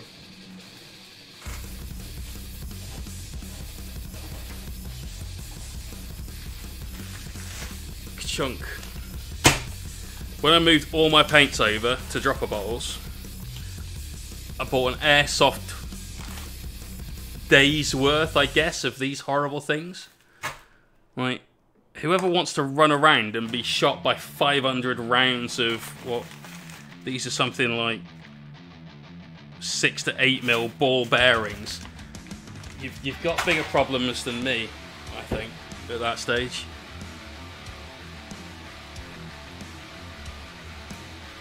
But whenever I do some, some work with oils, if there's any left, I try not to just waste it. So, black oil goes in a little black oil pot so on and so forth. Now this is only oil that's thin to the point where we can use it to do um, line work, so to do recess shades, to do any kind of uh, panel lining, that sort of thing. If you need something thicker, where you'd be doing maybe some more um, recovery intensive oil washing, then I'd just make that up as you go. Like whenever you need it, off you trot. So that looks a little thick. Let's see what we're working with. Yeah.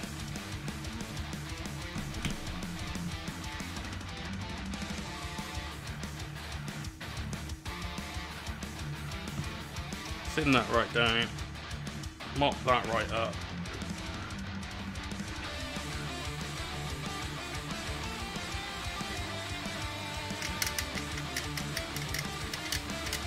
Too hot. I'm gonna die. Send help. Can't help. Haggis Hunter. Too hot.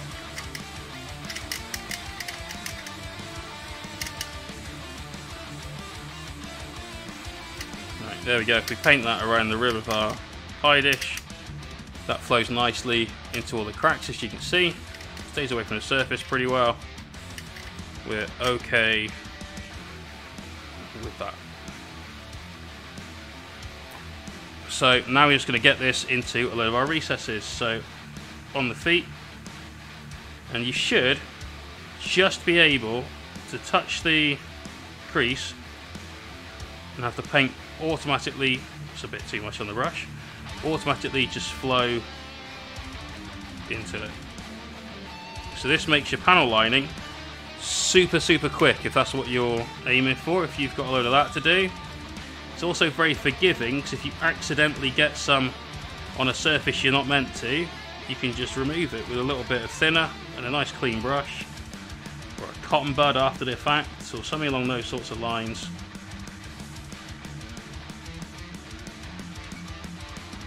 Oils are super good for things like that. Wedge this guy down, it's standing again. Uh, didn't remember did you get any of the basing kits containing Rocky Canyon or Arid Earth? I honestly can't remember, mate. Uh, and they're now all boxed up, ready to be shipped. So I'm I'm not going to go and have a, a goosey. Um, I don't remember Arid Earth at all. Rocky Canyon, I've got some. That's some good stuff. So here we've got this nice bit of moulded damage on the model. So just dropped in a little bit of shade on that. And this is basically what we're going to do now. We're going to work up and down the model, just making sure that all of our lines are nicely picked out.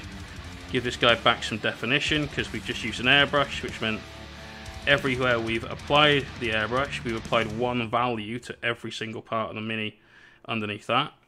When we get to these bits, let's just blob a little in there for now and then just start to that failed pretty spectacularly. Just sort of tease out some of that.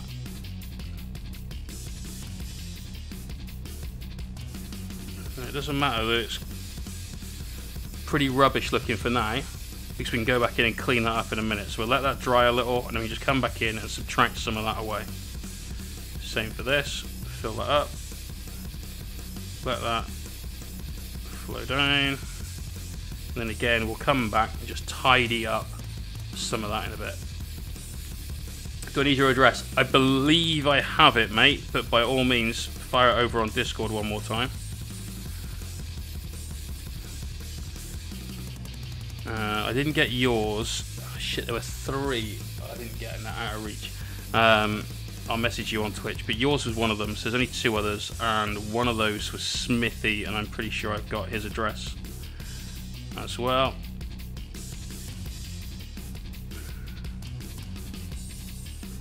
In fact, yeah, it's probably one of the last things in the chat between me and you is your address, I'd imagine, so. If it's with a few messages, don't worry about it.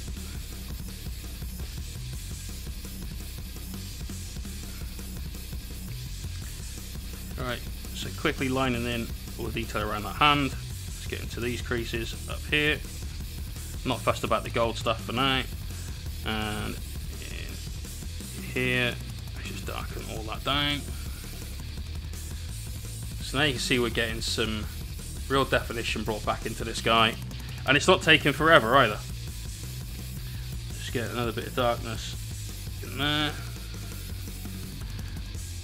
Let's do his face dotting around the eyes, the mouth. He's got a really intense brow line, big nose, instantly panel line. Mm-hmm. Happy days, right? Everyone should have a go at oil washing, if just for that. If you do a lot of recess shades, so pin washing, anything along those sorts of lines, get it? There's a pun in there if you think about it hard enough if you do anything along those kind of channels,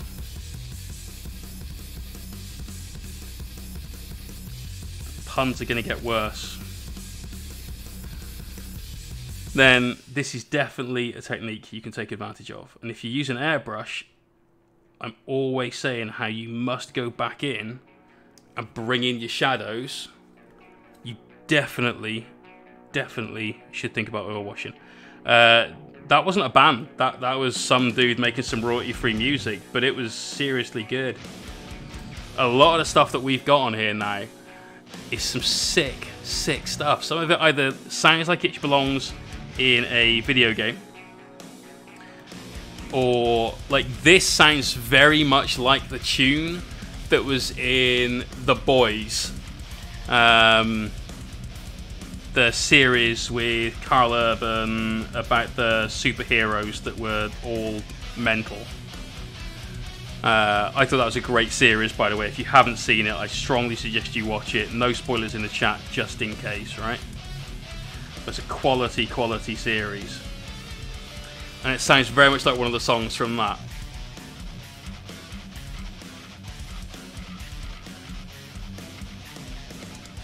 Right, little bits of physical damage in there. She's chucking a few extra bits.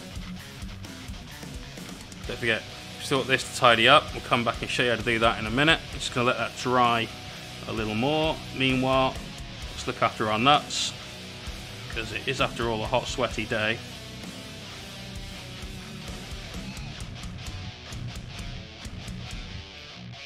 I'm going to do a little bit of streaking on some of these as well. Jay, what do we need to get to start with oil washing, oil-based paint, clear spirit, and some cups? Yeah, I bought like a hundred of these little tins from um, eBay or something for home baking. Um, so you could just get something like that. You could buy like an oil palette, so like a metal palette, uh, like Marco's got if you wanted to, but to be honest. I wouldn't bother with the expense if you're just starting out. Um, as far as the oil-based paints, go for small tubes. Small tubes. Because, sorry Liam, bigger is not always better. You will not use a large tube of oil in a long time. I do a lot of oil washing now. Uh, admittedly, it's only little bits at a time. We're not oil washing like entire armies or gigantic scale model tanks or anything like that. But in almost every commission and on almost every mini I paint, there's something that's gone on with oil paint.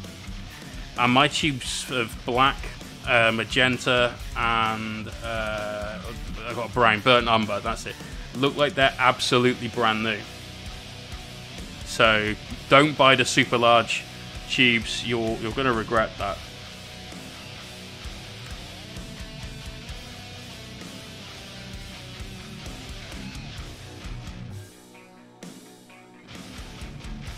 Alright. Done one half of this guy. So loads more definition in here. Obviously a load of dirt as well. Than we've got on this side. See the difference, right? Nice bits in focus. No focus. Focus. No focus. Any tips on brands? Mate, I'm kind of married to Winsor & Newton at this stage. Like, for brushes, for you name it. Um, so I use their stuff, and I've got no complaints with it. It's cheap. It's 285 or so. I think I paid per little uh, tube of of oil paint. Yes, I know a load of this is green. That doesn't matter. We're gonna rust all this up, so you won't see any of it. But for the bits that aren't gonna get rust on, let's just chuck this panel liner in while we're playing around with it, because we may as well. also panel line those before we forget. And that bit.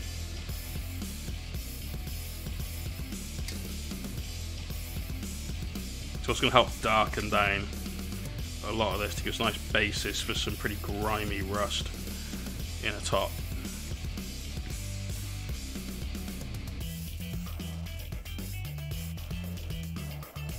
All the rust we're going to use for this, we're going to use with pigments as well. So now those weathering powders that we were using on bases the other day in our stream, well, we're going to show you another use of those on here. Let's do a few bits of streaky, grimy oil in here. Again, come back and tidy that later. Just hit all of these and line around the bottom of him.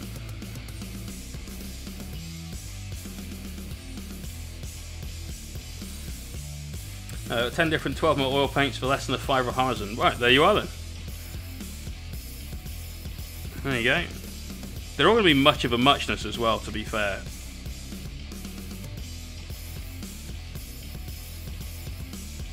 Right. It's going to be a load of medium which is normally linseed oil in oil paint, uh, with a load of pigment in a metal tube. That's, that's kind of oil paints in a nutshell, but a metal nutshell with a little screw cap on the end of it. Don't get crazy now.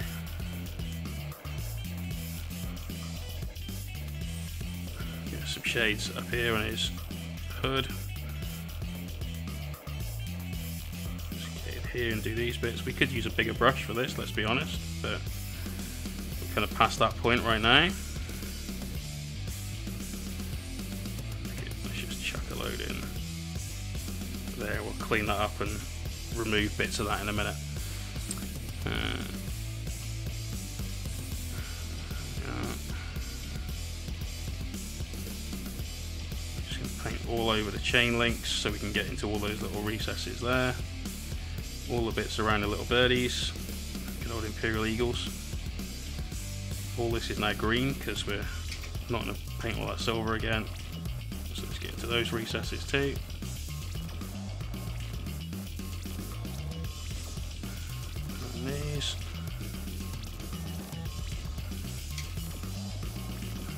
This.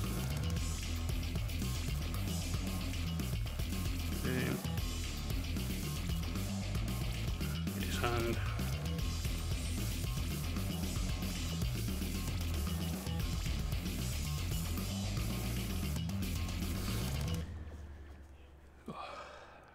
See, we're getting there nice and quick mate.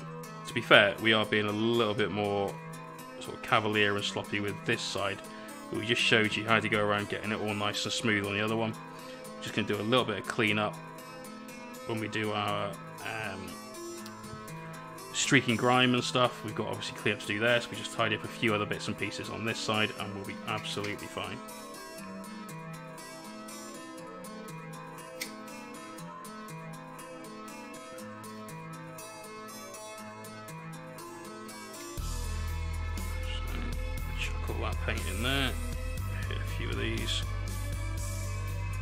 Underside bits. Lob a load into these. And then just start with some streaks.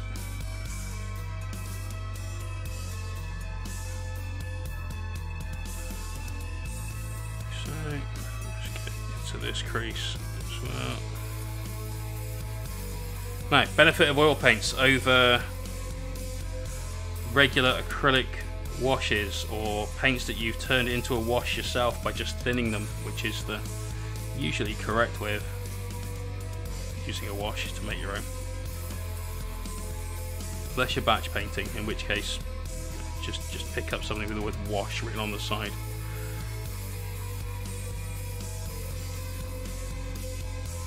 You have work time with this. We painted these bits on I don't know, 20 odd minutes ago. They're, they're not dry, they won't be dry for an age.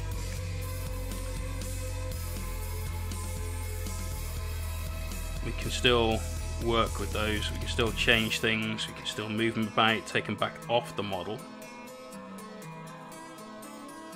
That's one of the things I like about most about oil paints. It kind of breaks the rules. You know how when you're always told, you just, just add a little of something, just add a little, you can't take it back. Well, with oil paints you can. Hicko! what'd up, dude? You can always go back with oil paints. You could literally remove every single trace of oil paint you wanted from the model without removing any of the base paints at this point. Still. It's going to be a lot of work, don't get me wrong, and you maybe question your life and the choices you've made, and certainly by the time you've finished it, your sanity would be strongly suspect. But you can still do it. It's definitely still on the cards. You crazy, crazy fool. It's on the cards. We're not going to though. Look, I'm just literally slapping this on. We're not even trying to be tidy with this. We're just painting over the flowers, the little petals, to make sure we get into all those recesses. In a minute, well, in like 20 minutes, we're going to start just making sure that all the front sections of those where we've got the petal itself are nice and clean, same as we will do with this bit of text. So just slap that on like so. So we'll still have a nice bright red at the front. We'll still have a very dark shadow for everything else.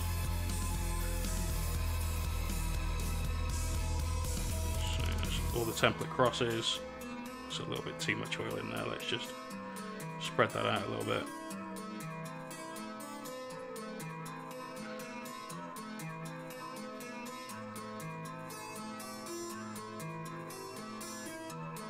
Like so.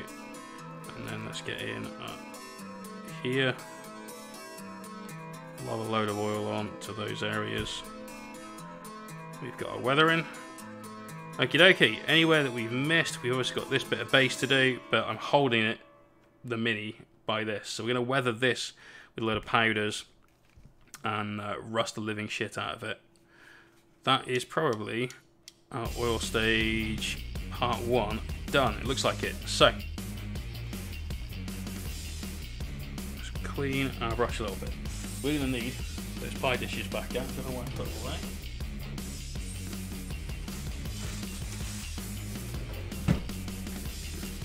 And this time, we instead of using oil paint and white spirit, we're just going to use white spirit.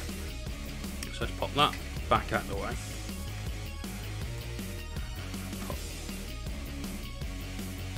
Some white spirits in there. And now we're going to remove some of that oil. So a good way to think about the process we're about to do now is it's a bit like dry brushing in reverse. I mean, it's not really, but it's. Most of you will understand uh, where we're coming from with that in a second. So, the reason I say that is because when you dry brush something, you're taking your brush and you're sort of running it back and forth over the model if you're doing it incorrectly. If you're doing it properly, just going in one direction. And you're applying paint to just the highest recesses. What we've just done is we've taken that model and we've slapped paint all over it and now we're going to remove it from just the highest points. I said highest recesses, didn't I? That was dumb. Deepest recesses, highest peaks. So the paint that the oils that flowed into the recesses will stay in the recesses. We're now going to remove the oil from all of the top parts of that, bringing that back up. So we've got some clean white spirit. Still going to use our tiny brush. And one of the reasons for that is because where we've got the streaks that we wanted on here, just going to start to clean away some of that oil and tidy it up a little bit to give us better streaks. So keep yourself a little bit of towel nearby, clean the brush out on that after it's picked up some of the darker paint, and then just clean up. So obviously this is what I meant earlier on when I was saying you can't do this with an acrylic brush. You just, uh, sorry, an acrylic uh, product, you can't. Once it's set, it's kind of set unless you're using things like um, isopropyl alcohol perhaps. Um, and at that stage, you're, you're really having to worry about how much paint you're going to lift up off of the Mini. Right, any other areas we went a bit ham, clean a little bit of that. this bit we'll clean a little and that's kind of all we want to do on there see now see we've got some streaks that look a little bit more natural what if though what if you get here and you clean off too much? Oh shit. Well now I've buggered it. No that's where you just grab some more oil paint.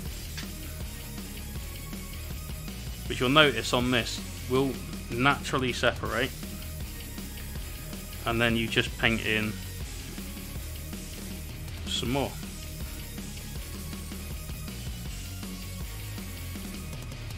It's a back and forth process. Nothing's ever set with oil paint. It's almost literally, in fact, to the meaning of that word.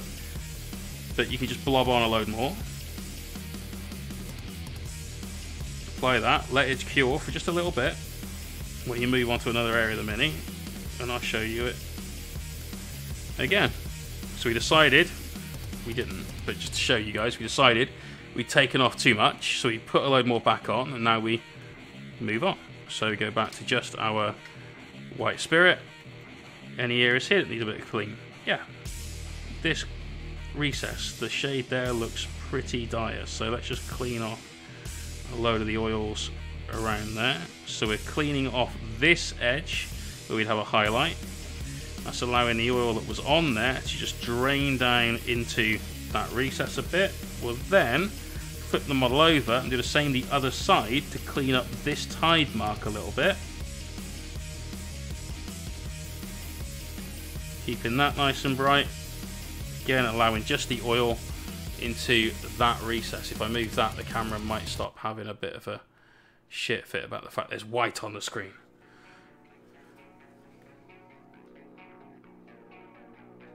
and you can just do this and refine it as much as you want. We're going to do this relatively quickly because it is 11 o'clock, which means we've really only got about 15 minutes of actual work time, and I want to get the powders out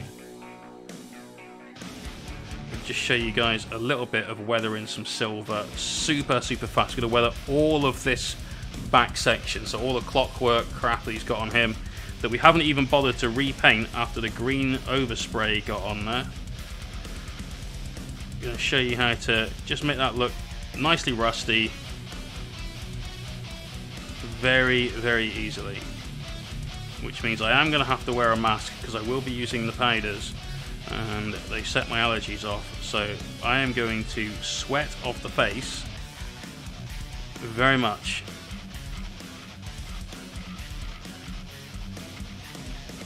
Yeah, so there's that streak of grime that we've got on there. This one, it looks like it's blown out a bit on camera. Let's change the brightness.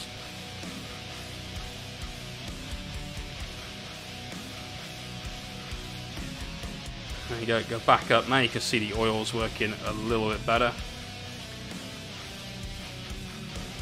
Go back to the front where we were working earlier on, on our streaks. Those are nice and dark again. They've had time to just about dry. So a little bit of white spirit on the brush. And then just clean off the bits we don't want. Wipe the brush on your paper towel. Go back. And then again, just thin out. Smooth off streak.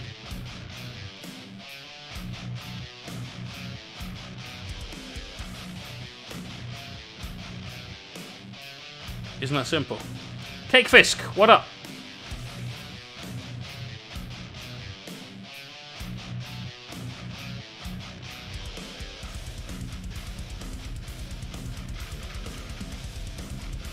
Yeah. So now we've got some streaking, that looks a bit better. Let's come back here. Clean the bottom of that off. Just a touch more, so it's nice and bright. Contrast a little bit better. Happy days. Hiding from the heat. I mean, dude, it, it, what I was going to do tonight was work on the Necrons and do some OSL. That didn't happen. Then I thought, alright, cool. I'll convert up those Demon Princes. We'll do a, a, a stream where we don't paint. We'll do a stream where we do conversions, because we haven't done that ever. Um, and I realised that the bits I was going to use were um, sort of seconds from my housemate, and then they're not going to work because he's taken all the hands.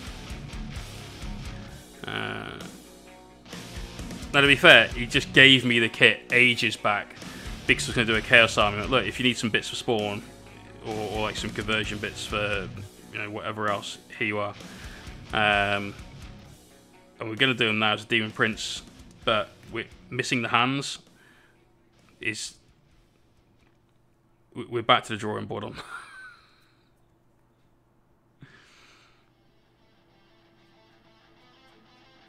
right, there we go. That's most of that cleaned away. We've got a nice recess with our streaks. Let's check out anything right here. So when we got to the hand and the shield, obviously we're being super, super quick with it. There's nothing really to clean up around the face area. Nothing really to clean up around here, but on the hand, we do just want to carefully remove any oils from the surface of his fingers. Keeping those nice and bright against the red. Drones, we're going to use Plague Drones, yeah. So you're making Demon Dawn? No, no, no, no. We're going to do... Um, we're using the Storm Vermin... Not Storm Vermin. They're Storm something. Rat Ogres with guns on hands. I don't know what they're called. It's not Storm Surge, that's a time thing.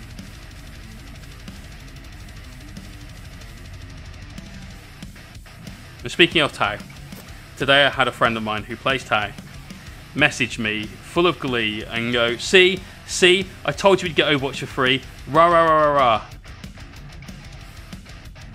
And he was he was so happy about that. Like absolutely buzzing his tits off, super happy. Until I sent him the bit that he hadn't read, which was the models with the fly can't fall back from combat and shoot anymore. And then he was unhappy. He he was he was slightly more salty than when they took away his beloved Overwatch.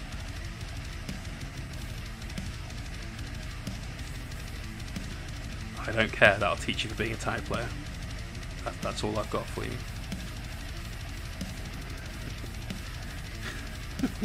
Tau players are indeed never happy.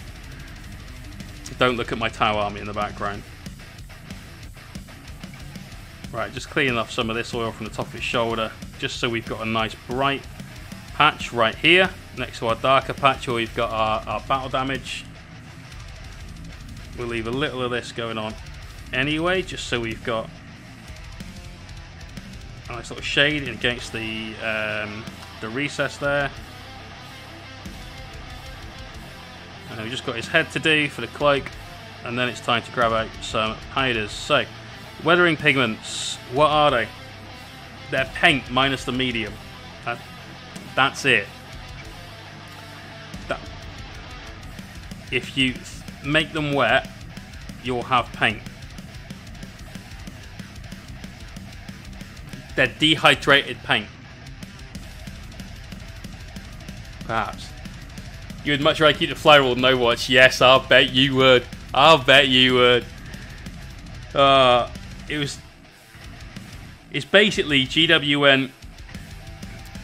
Tau players, we've heard you were very salty uh, because we removed your Overwatch, and the Tau community at large went, "Yeah, man, fuck right you did. You better sort us out. You know, you better sort us out because we're not happy." And GWN, hold my beer.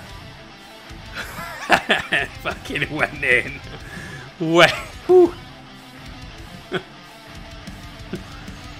uh,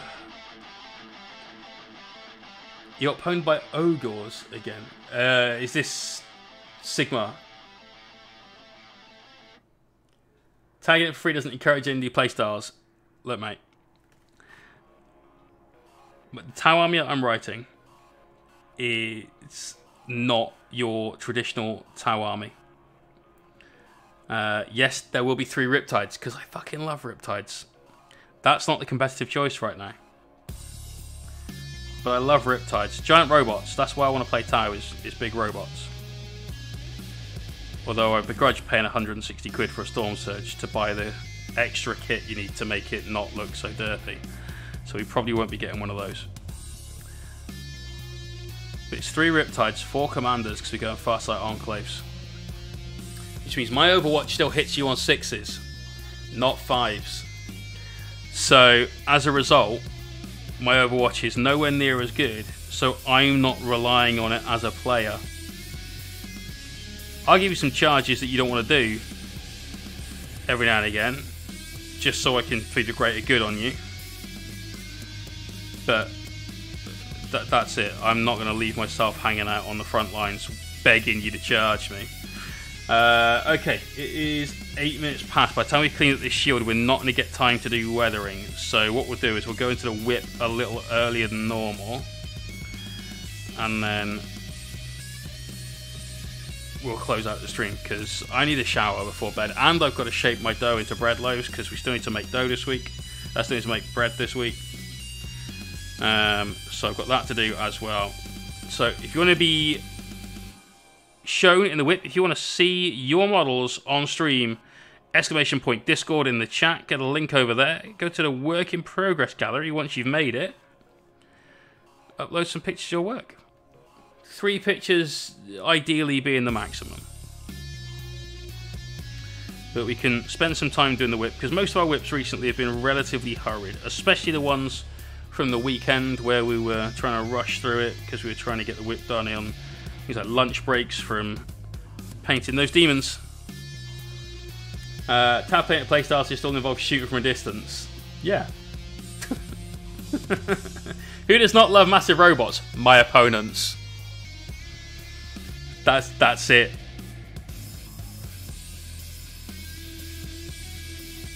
I, I did once have somebody flat out call me a bastard for bringing just Imperial Knights. I got to the table and I was waiting for my opponent, and this this dude turned up, this ginger kid. He looked at me and went, "Is that your army?" I Went, yeah.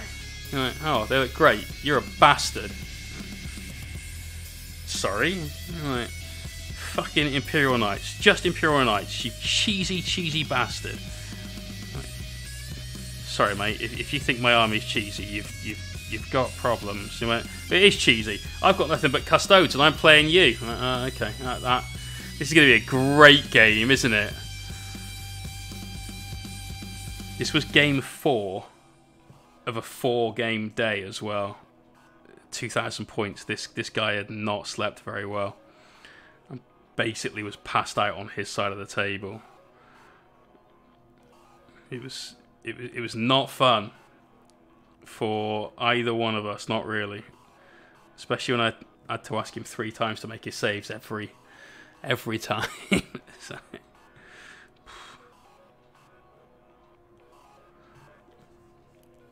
But I can still operate when we've been playing for that long. You know, I got no issues with that, which is why I'm super looking forward to the Alliance Open Super Major in November. Can't wait for that. Oh, it's going to be so good. Eight games of 40k in three days. Yes. Yes. Let the salt flow through you, my brothers. Whew. Absolutely. Can you drop a night list? Can you kill two knights a turn? If the answer is no, well, if you face one of those lists, you're going to lose. If you're happy with that, cool. If you're thinking, well, it's alright, I can outplay knights because I'll play the mission. I hope you're not playing me.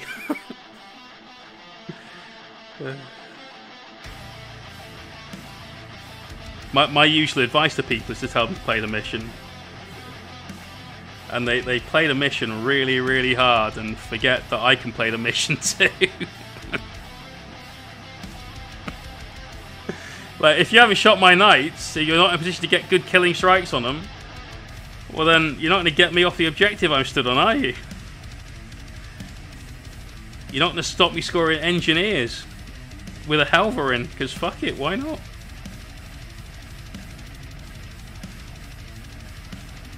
Right, while we just finish this up, quick bit of promoting.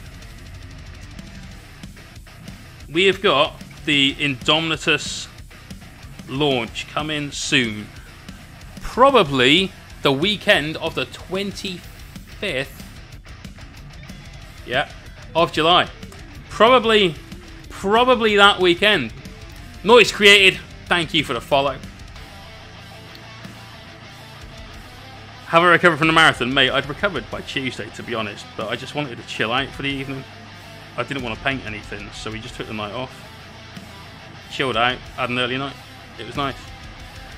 Um, if I was honest, I kind of recovered by Monday. A couple of hours kit, we were alright to go.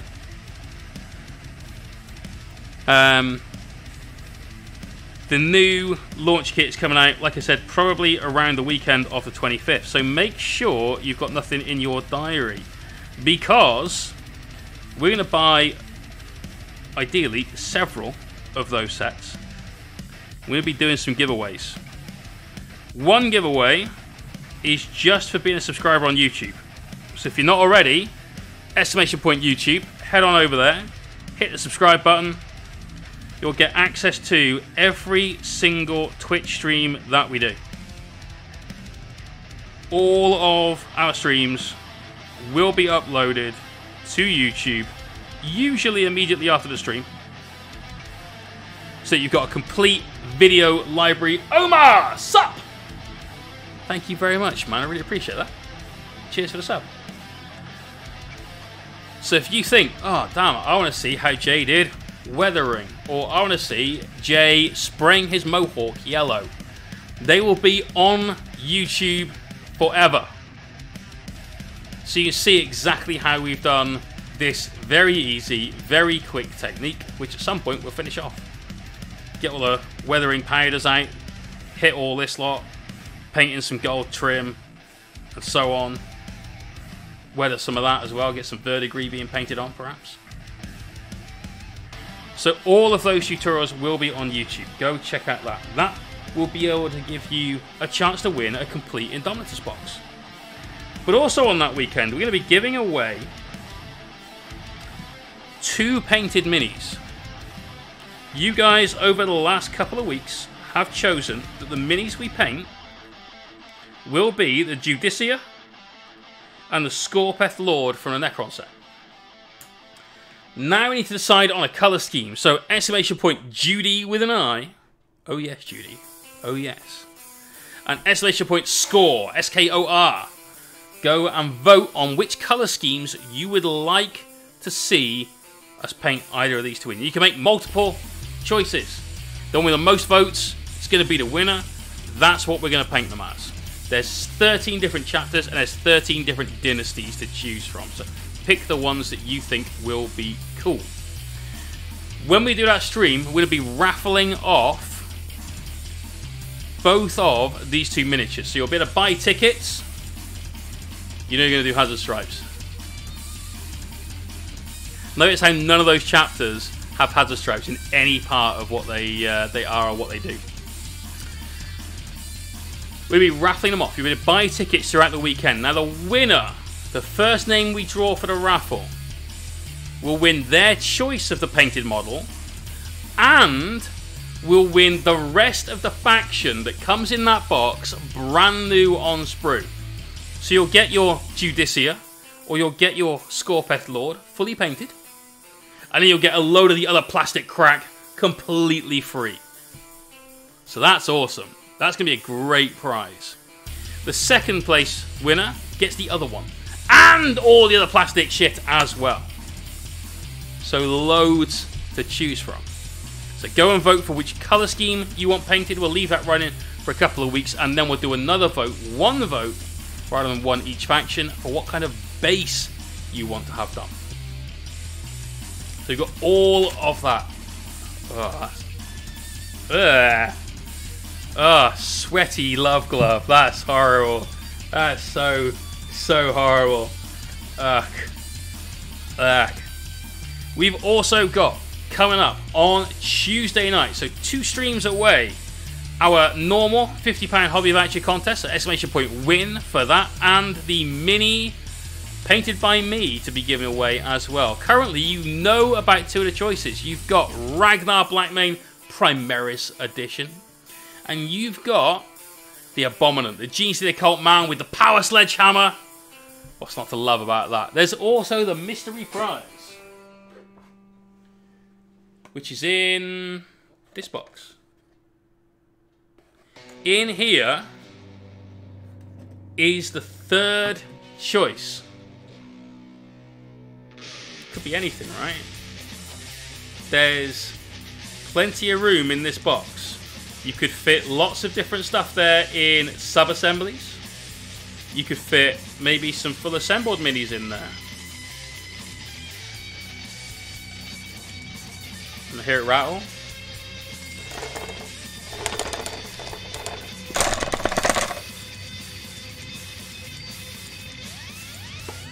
What's in the box? Let's find out, shall we? Get out.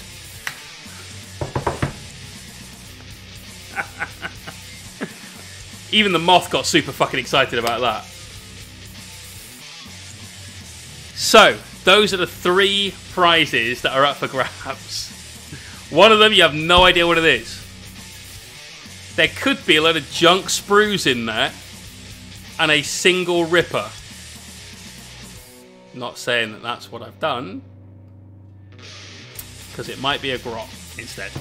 Might be some scenery, it might be a limited edition mini. Could be anything in that box. Could be a good prize, could be a shit prize. Could be a mediocre prize. But either way, I'll paint it and send it to you. Right. Let's go check out the WIP. See what we've got in there this evening. Discord button. Exclamation point Discord in the chat if you haven't already. Get yourself a link. So what came in during the stream? First one during the stream was Sons of Rolo. Painting itself some Space Wolves. Got the doggos on deck. We saw the hammers over the weekend. Did some really nice blending work on those. I think this unit is pretty sick. There is one very, very strong piece of criticism that I have for you, which is that the base rims are not black. They need to be, man. They need to be. It will snap those models into focus. Look at the dude in the middle. You look at the mini. Look at the rest of them. You can't help but look at the base. Greta! Thank you for that sub. Much appreciated. McPherson says, made a box as your old Citadel pots after the paint has been transferred to dropper bottles. Still counts as plastic GW stuff. I did say a mini. It could still be a scenic base. That's about as like vague from like mini as I'm willing to go. Could just just be a scenic base. Don't know. Don't know. These are very cool, man. Get them base rims done. Got to do those base rims. Even GW are finally on the black base rim train now. About time. Why? Why did they ever go brown? But I love them, dude. Great work. Love how bright the hammers are. Epic stuff. Spectre Wolf, painting Fabulous Bill. That's some aggressive, glossy wash you've got on that coat, man. The new Elves box is brown bases. Dude, the new Elves box might be brown bases. Look at all the new 40k stuff. All on black bases. Then you've got a model of brown base rim in your slideshow, right? Uh, trying to remember which one it is.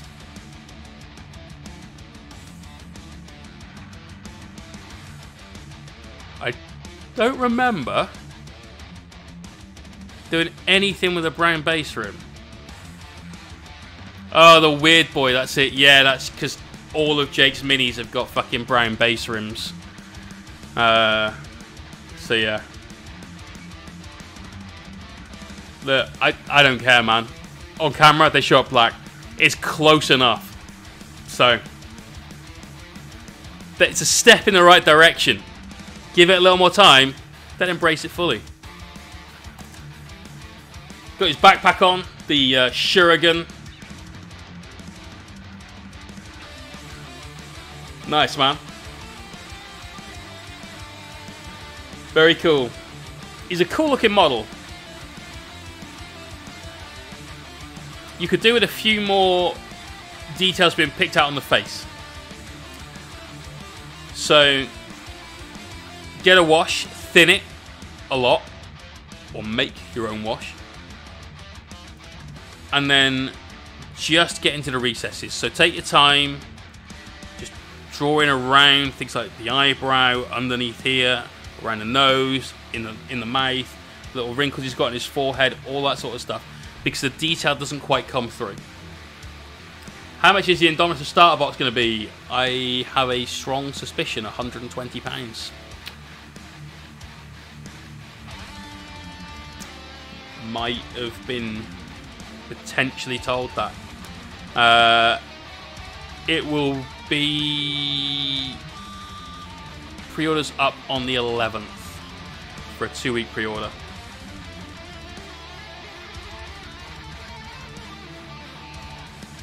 There you go. And that, that competition, everyone keeps going back to that. That competition needs to be so far out of people's heads when it comes to this. Everyone saying, oh, it's not vague. You know, it's, it's, it's clearly got to be this. Like, it might be that. But they tell you the prize is something they're not going to tell you about. Everyone says, oh yeah, but they put out the Indomitus box, so it must be that. What about a ninth starter set?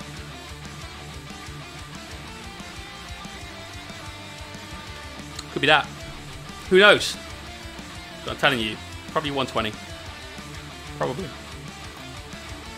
Right, Rocky. I swear it's just my camera. His face isn't that busted in person. Let's have a look at the face.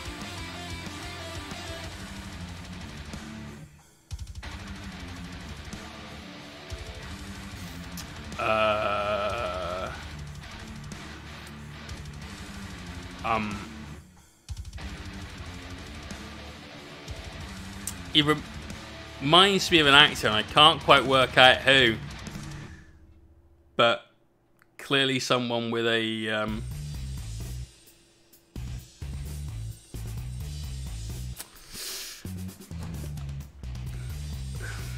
Okay, same deal as Spectre Wolf. You have no real definition to that face. It's like a little like the Neeson. Yeah, maybe. So you can't really see any of it. it. It blurs into the background. Look at my face. I mean, you know, at your own risk. Even with the harsh lighting we're here, we've got now, you can see shadows around like the eyebrow line, underneath the eyes, under here where like the pads of my cheeks and stuff finish. You know, you've got those darker spots that are easily definable. But this this guy doesn't have them. All right, so you need to get into those really thin creases in his skin, and you need to darken those down, which will allow everything else to look a bit brighter and will have that balance. So there you go.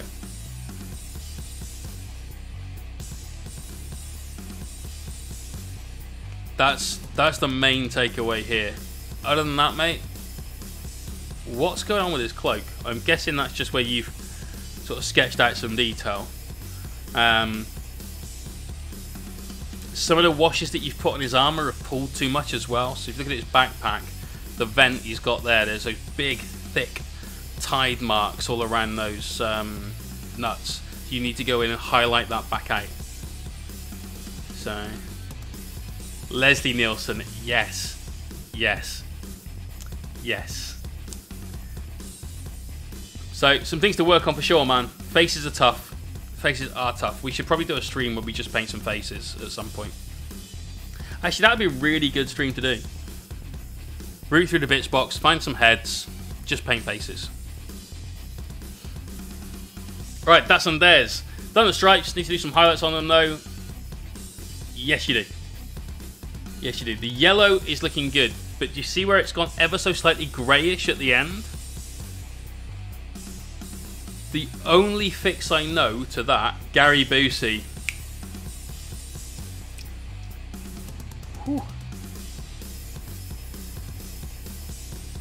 The only fix I know to that is to get some orange in there and just up the contrast that way. That's what I do on my nights. But I like it, man. It's super clean. Super, super clean.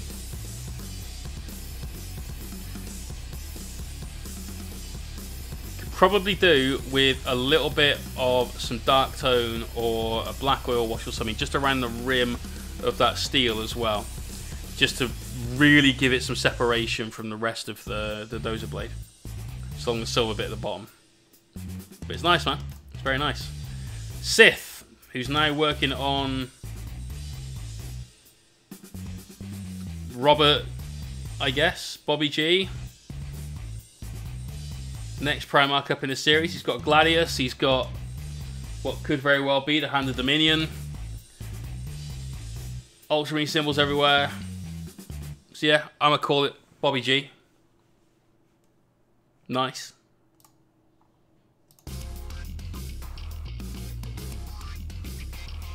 I've never been sold on their sideways mohawks. I, I don't I don't support this kind of mohawk. It, back to front, only mohawk. Nice mini. Oh, here we go. This is him next to Bobby with a different head, and this time he might be the Emperor. In fact, that's just a small version of the one behind it, which is fucking gargantuan, as you can see. Uh, it, Death, I, I know, I, I totally understand the, the history of it, I get that. My point was just Mohawk. That's it. Just Mohawk. Helmet like a paintbrush, that's also fine in this direction. It's good for doing ceilings. You just kind of, you know. Nice, Sith.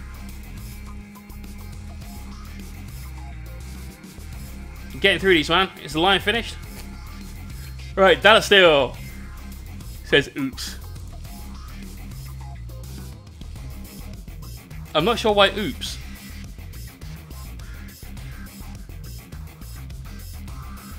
These are good, man. I really love your color scheme for these. The armor's a really good canvas for everything else. So...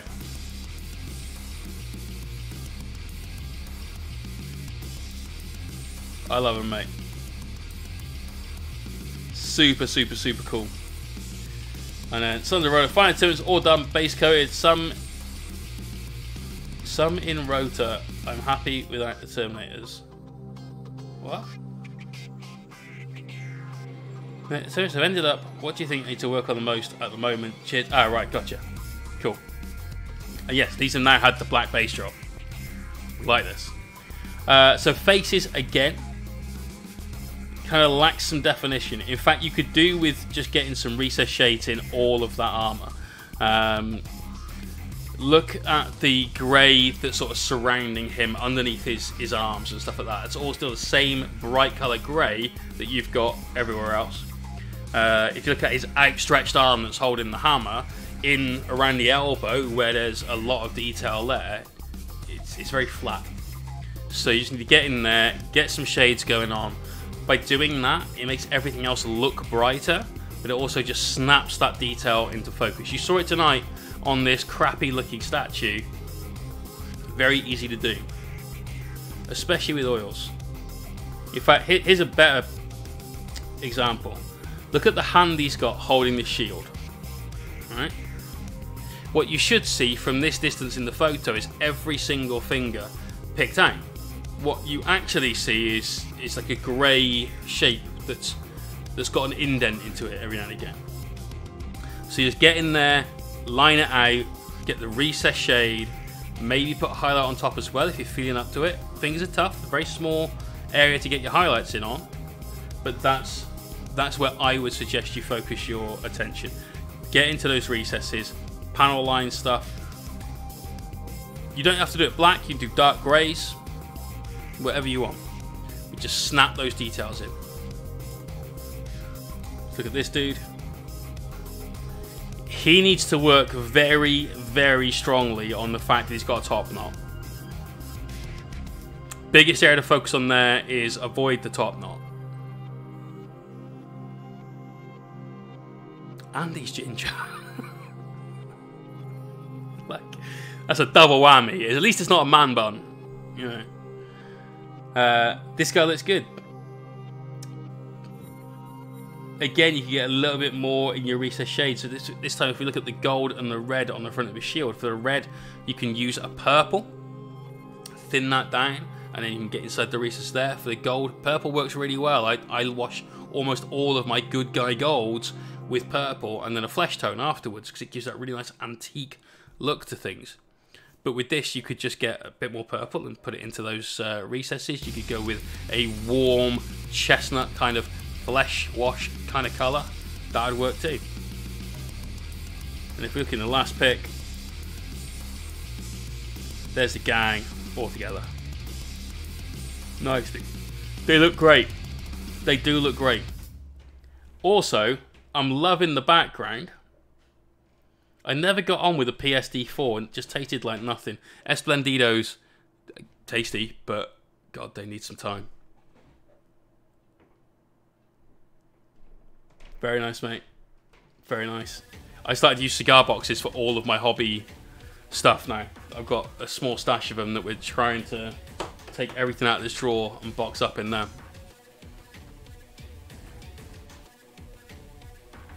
Very cool, though, dude. Good doggos. Uh, right, Rev. Oh, damn. So Rev still going with that super, super bright Death Guard.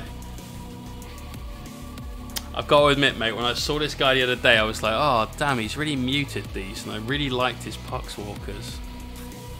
Ah, he did not disappoint, sir. You did not disappoint. Loving this.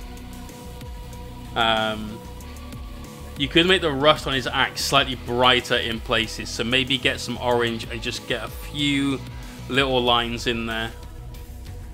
Because that, that can't compete. It doesn't hold up to the strength and vibrancy of that bright green armor. It gets lost because your eye is constantly drawn to that green.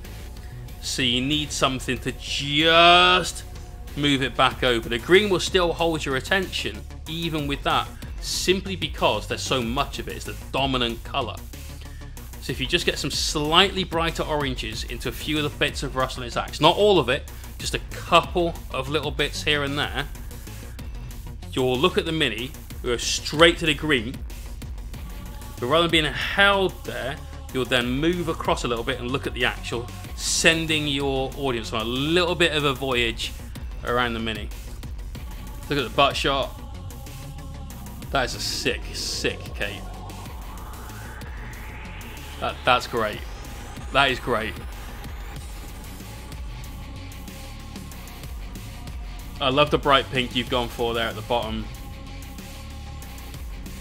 Awesome stuff, dude. Absolutely awesome stuff.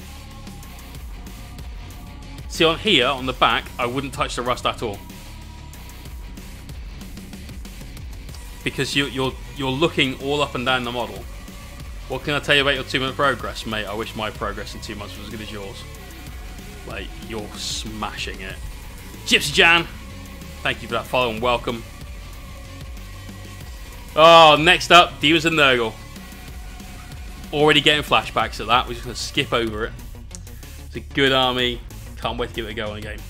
Crownblade, couple of schemes. So we've got blue, silver with a, a gold little goatee. I like his little grey touch rugby towel that he's wearing.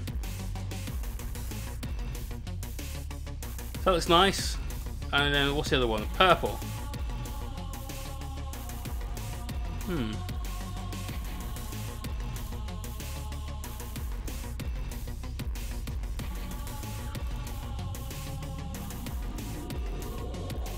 I think I prefer the purple one just because there's a little bit more going on with it. So the blue one is is very predominantly blue. That's that's the, the main overriding sense of what you get here because you've used grey metals as well. So you've got a kind of steel, and it's it's all shares a little bit of blue. Whereas the purple one doesn't. I think I prefer the purple one. So if you're trying to work out which one to do, I, I would go purple. They're good though, man. I'm liking them. Fish, finishing some Nurgly spawn. These are the ones from the uh, Blackstone Fortress um, Warhammer Quest box, not Blackstone Fortress. Sorry about the yawning. It, this normally happens when we get to this point in the WIP. My brain just like, you can go to sleep now, Jay. It just shuts down a little bit. Uh, again, contrast. So get into the axe, get some washes going on just in those recesses, maybe do some rust and so on. Uh, some of the purple you could get a little bit darker in places, a little bit lighter in places. And definitely that Blanka style haircut, that needs to get put up. That that needs like some electric highlights. They're from Road. That's it, yeah. Warhammer Quest, Rogue Trader thing, whatever it was. The Inquisitor stuff on the ship. Butt shot, that's an unattractive butt shot. It's, it's, not good, fish. It's, it's, not good. We're moving off from that one. Voodoo Yaz, he still needs a lot of work, he says. Uh, yeah. Yeah, a little bit here and there, mate. Um, plenty of highlights by the looks of it. The white needs a little bit more shadow. And obviously you need a base. But you need the last one anyway. I would definitely make sure you do the eyes a little bit more vibrant. Because, and it might just be the photo, because obviously white makes things a little bit difficult to uh, photograph, as we've still seen with this camera setup. Um, but they're lost in there. So. He looks tight though, man. There's Sayek WIP, PVCs, suited to do all the metal bits like an Achilles, the spikes and cannon. They look sick. They look sick.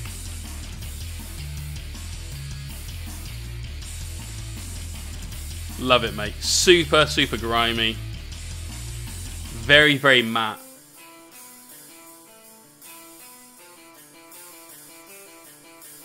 loads of rust all over. These are awesome. Super awesome.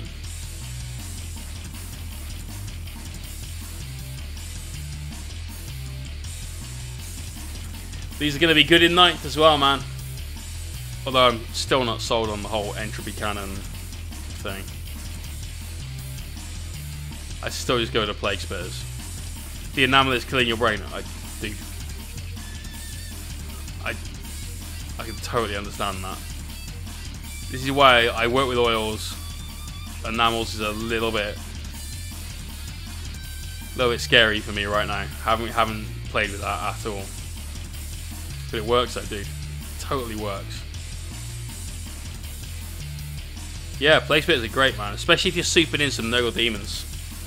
Get that um, Herald, plus one strength. Become strength 8 then normally, which is solid. These are Sayak. Out here in the chat. You're doing enamel bits on those, so fair play to him, man. They are good. They are good.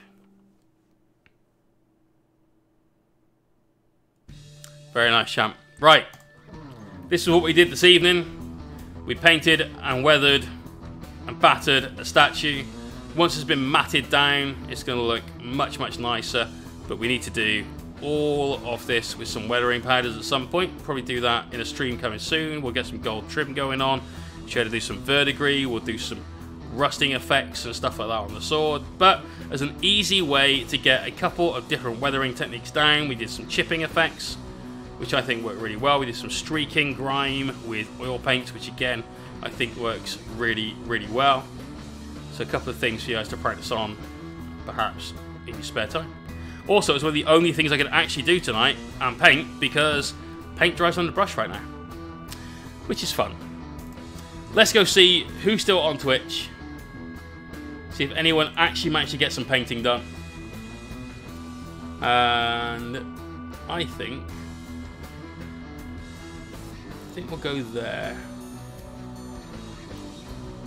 Because why not? I love this dude. And he's painting. He's also doing scenery. So you keep the scenery train going. You're going to raid Glorious Badger. Then I'm going to have to make some bread. So I can put it in the proving in the fridge all night. And then I desperately, desperately need a shower. So thanks for watching, everyone. Peace out. We will see you on Sunday, live at 9 o'clock. Have fun.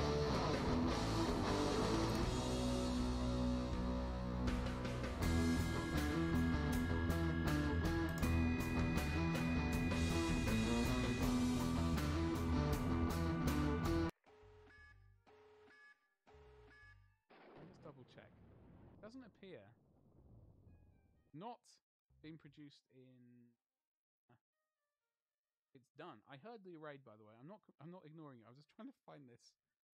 Um. Thank you very much for the raid, Mohawk. How the devil are you? Good evening.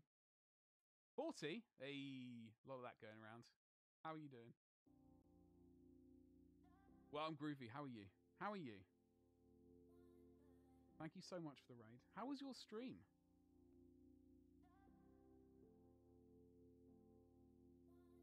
Melon, thank you so much. I hope you have a lovely meal. I will see you later, alligator, and I will let you know. So yes, um, sorry folks, we were just going through a uh, thing with just doing. Um, that's on. Hello. It's a bit warm in here tonight. Tell me about it. I got the door open. It's hot AF. outside. It's this computer. I've had to turn one computer off. We're slumming it over here. Uh, we've got the lights and everything going. It's melting me. Voodoo, thank you so much. Welcome to the 40. Well, you know, I I don't feel a day over. I can say 39. I don't really feel any older. Feels like my neck hurt a few minutes ago. That hurt. I think that was a new one. Um, what was I doing? I was trying to.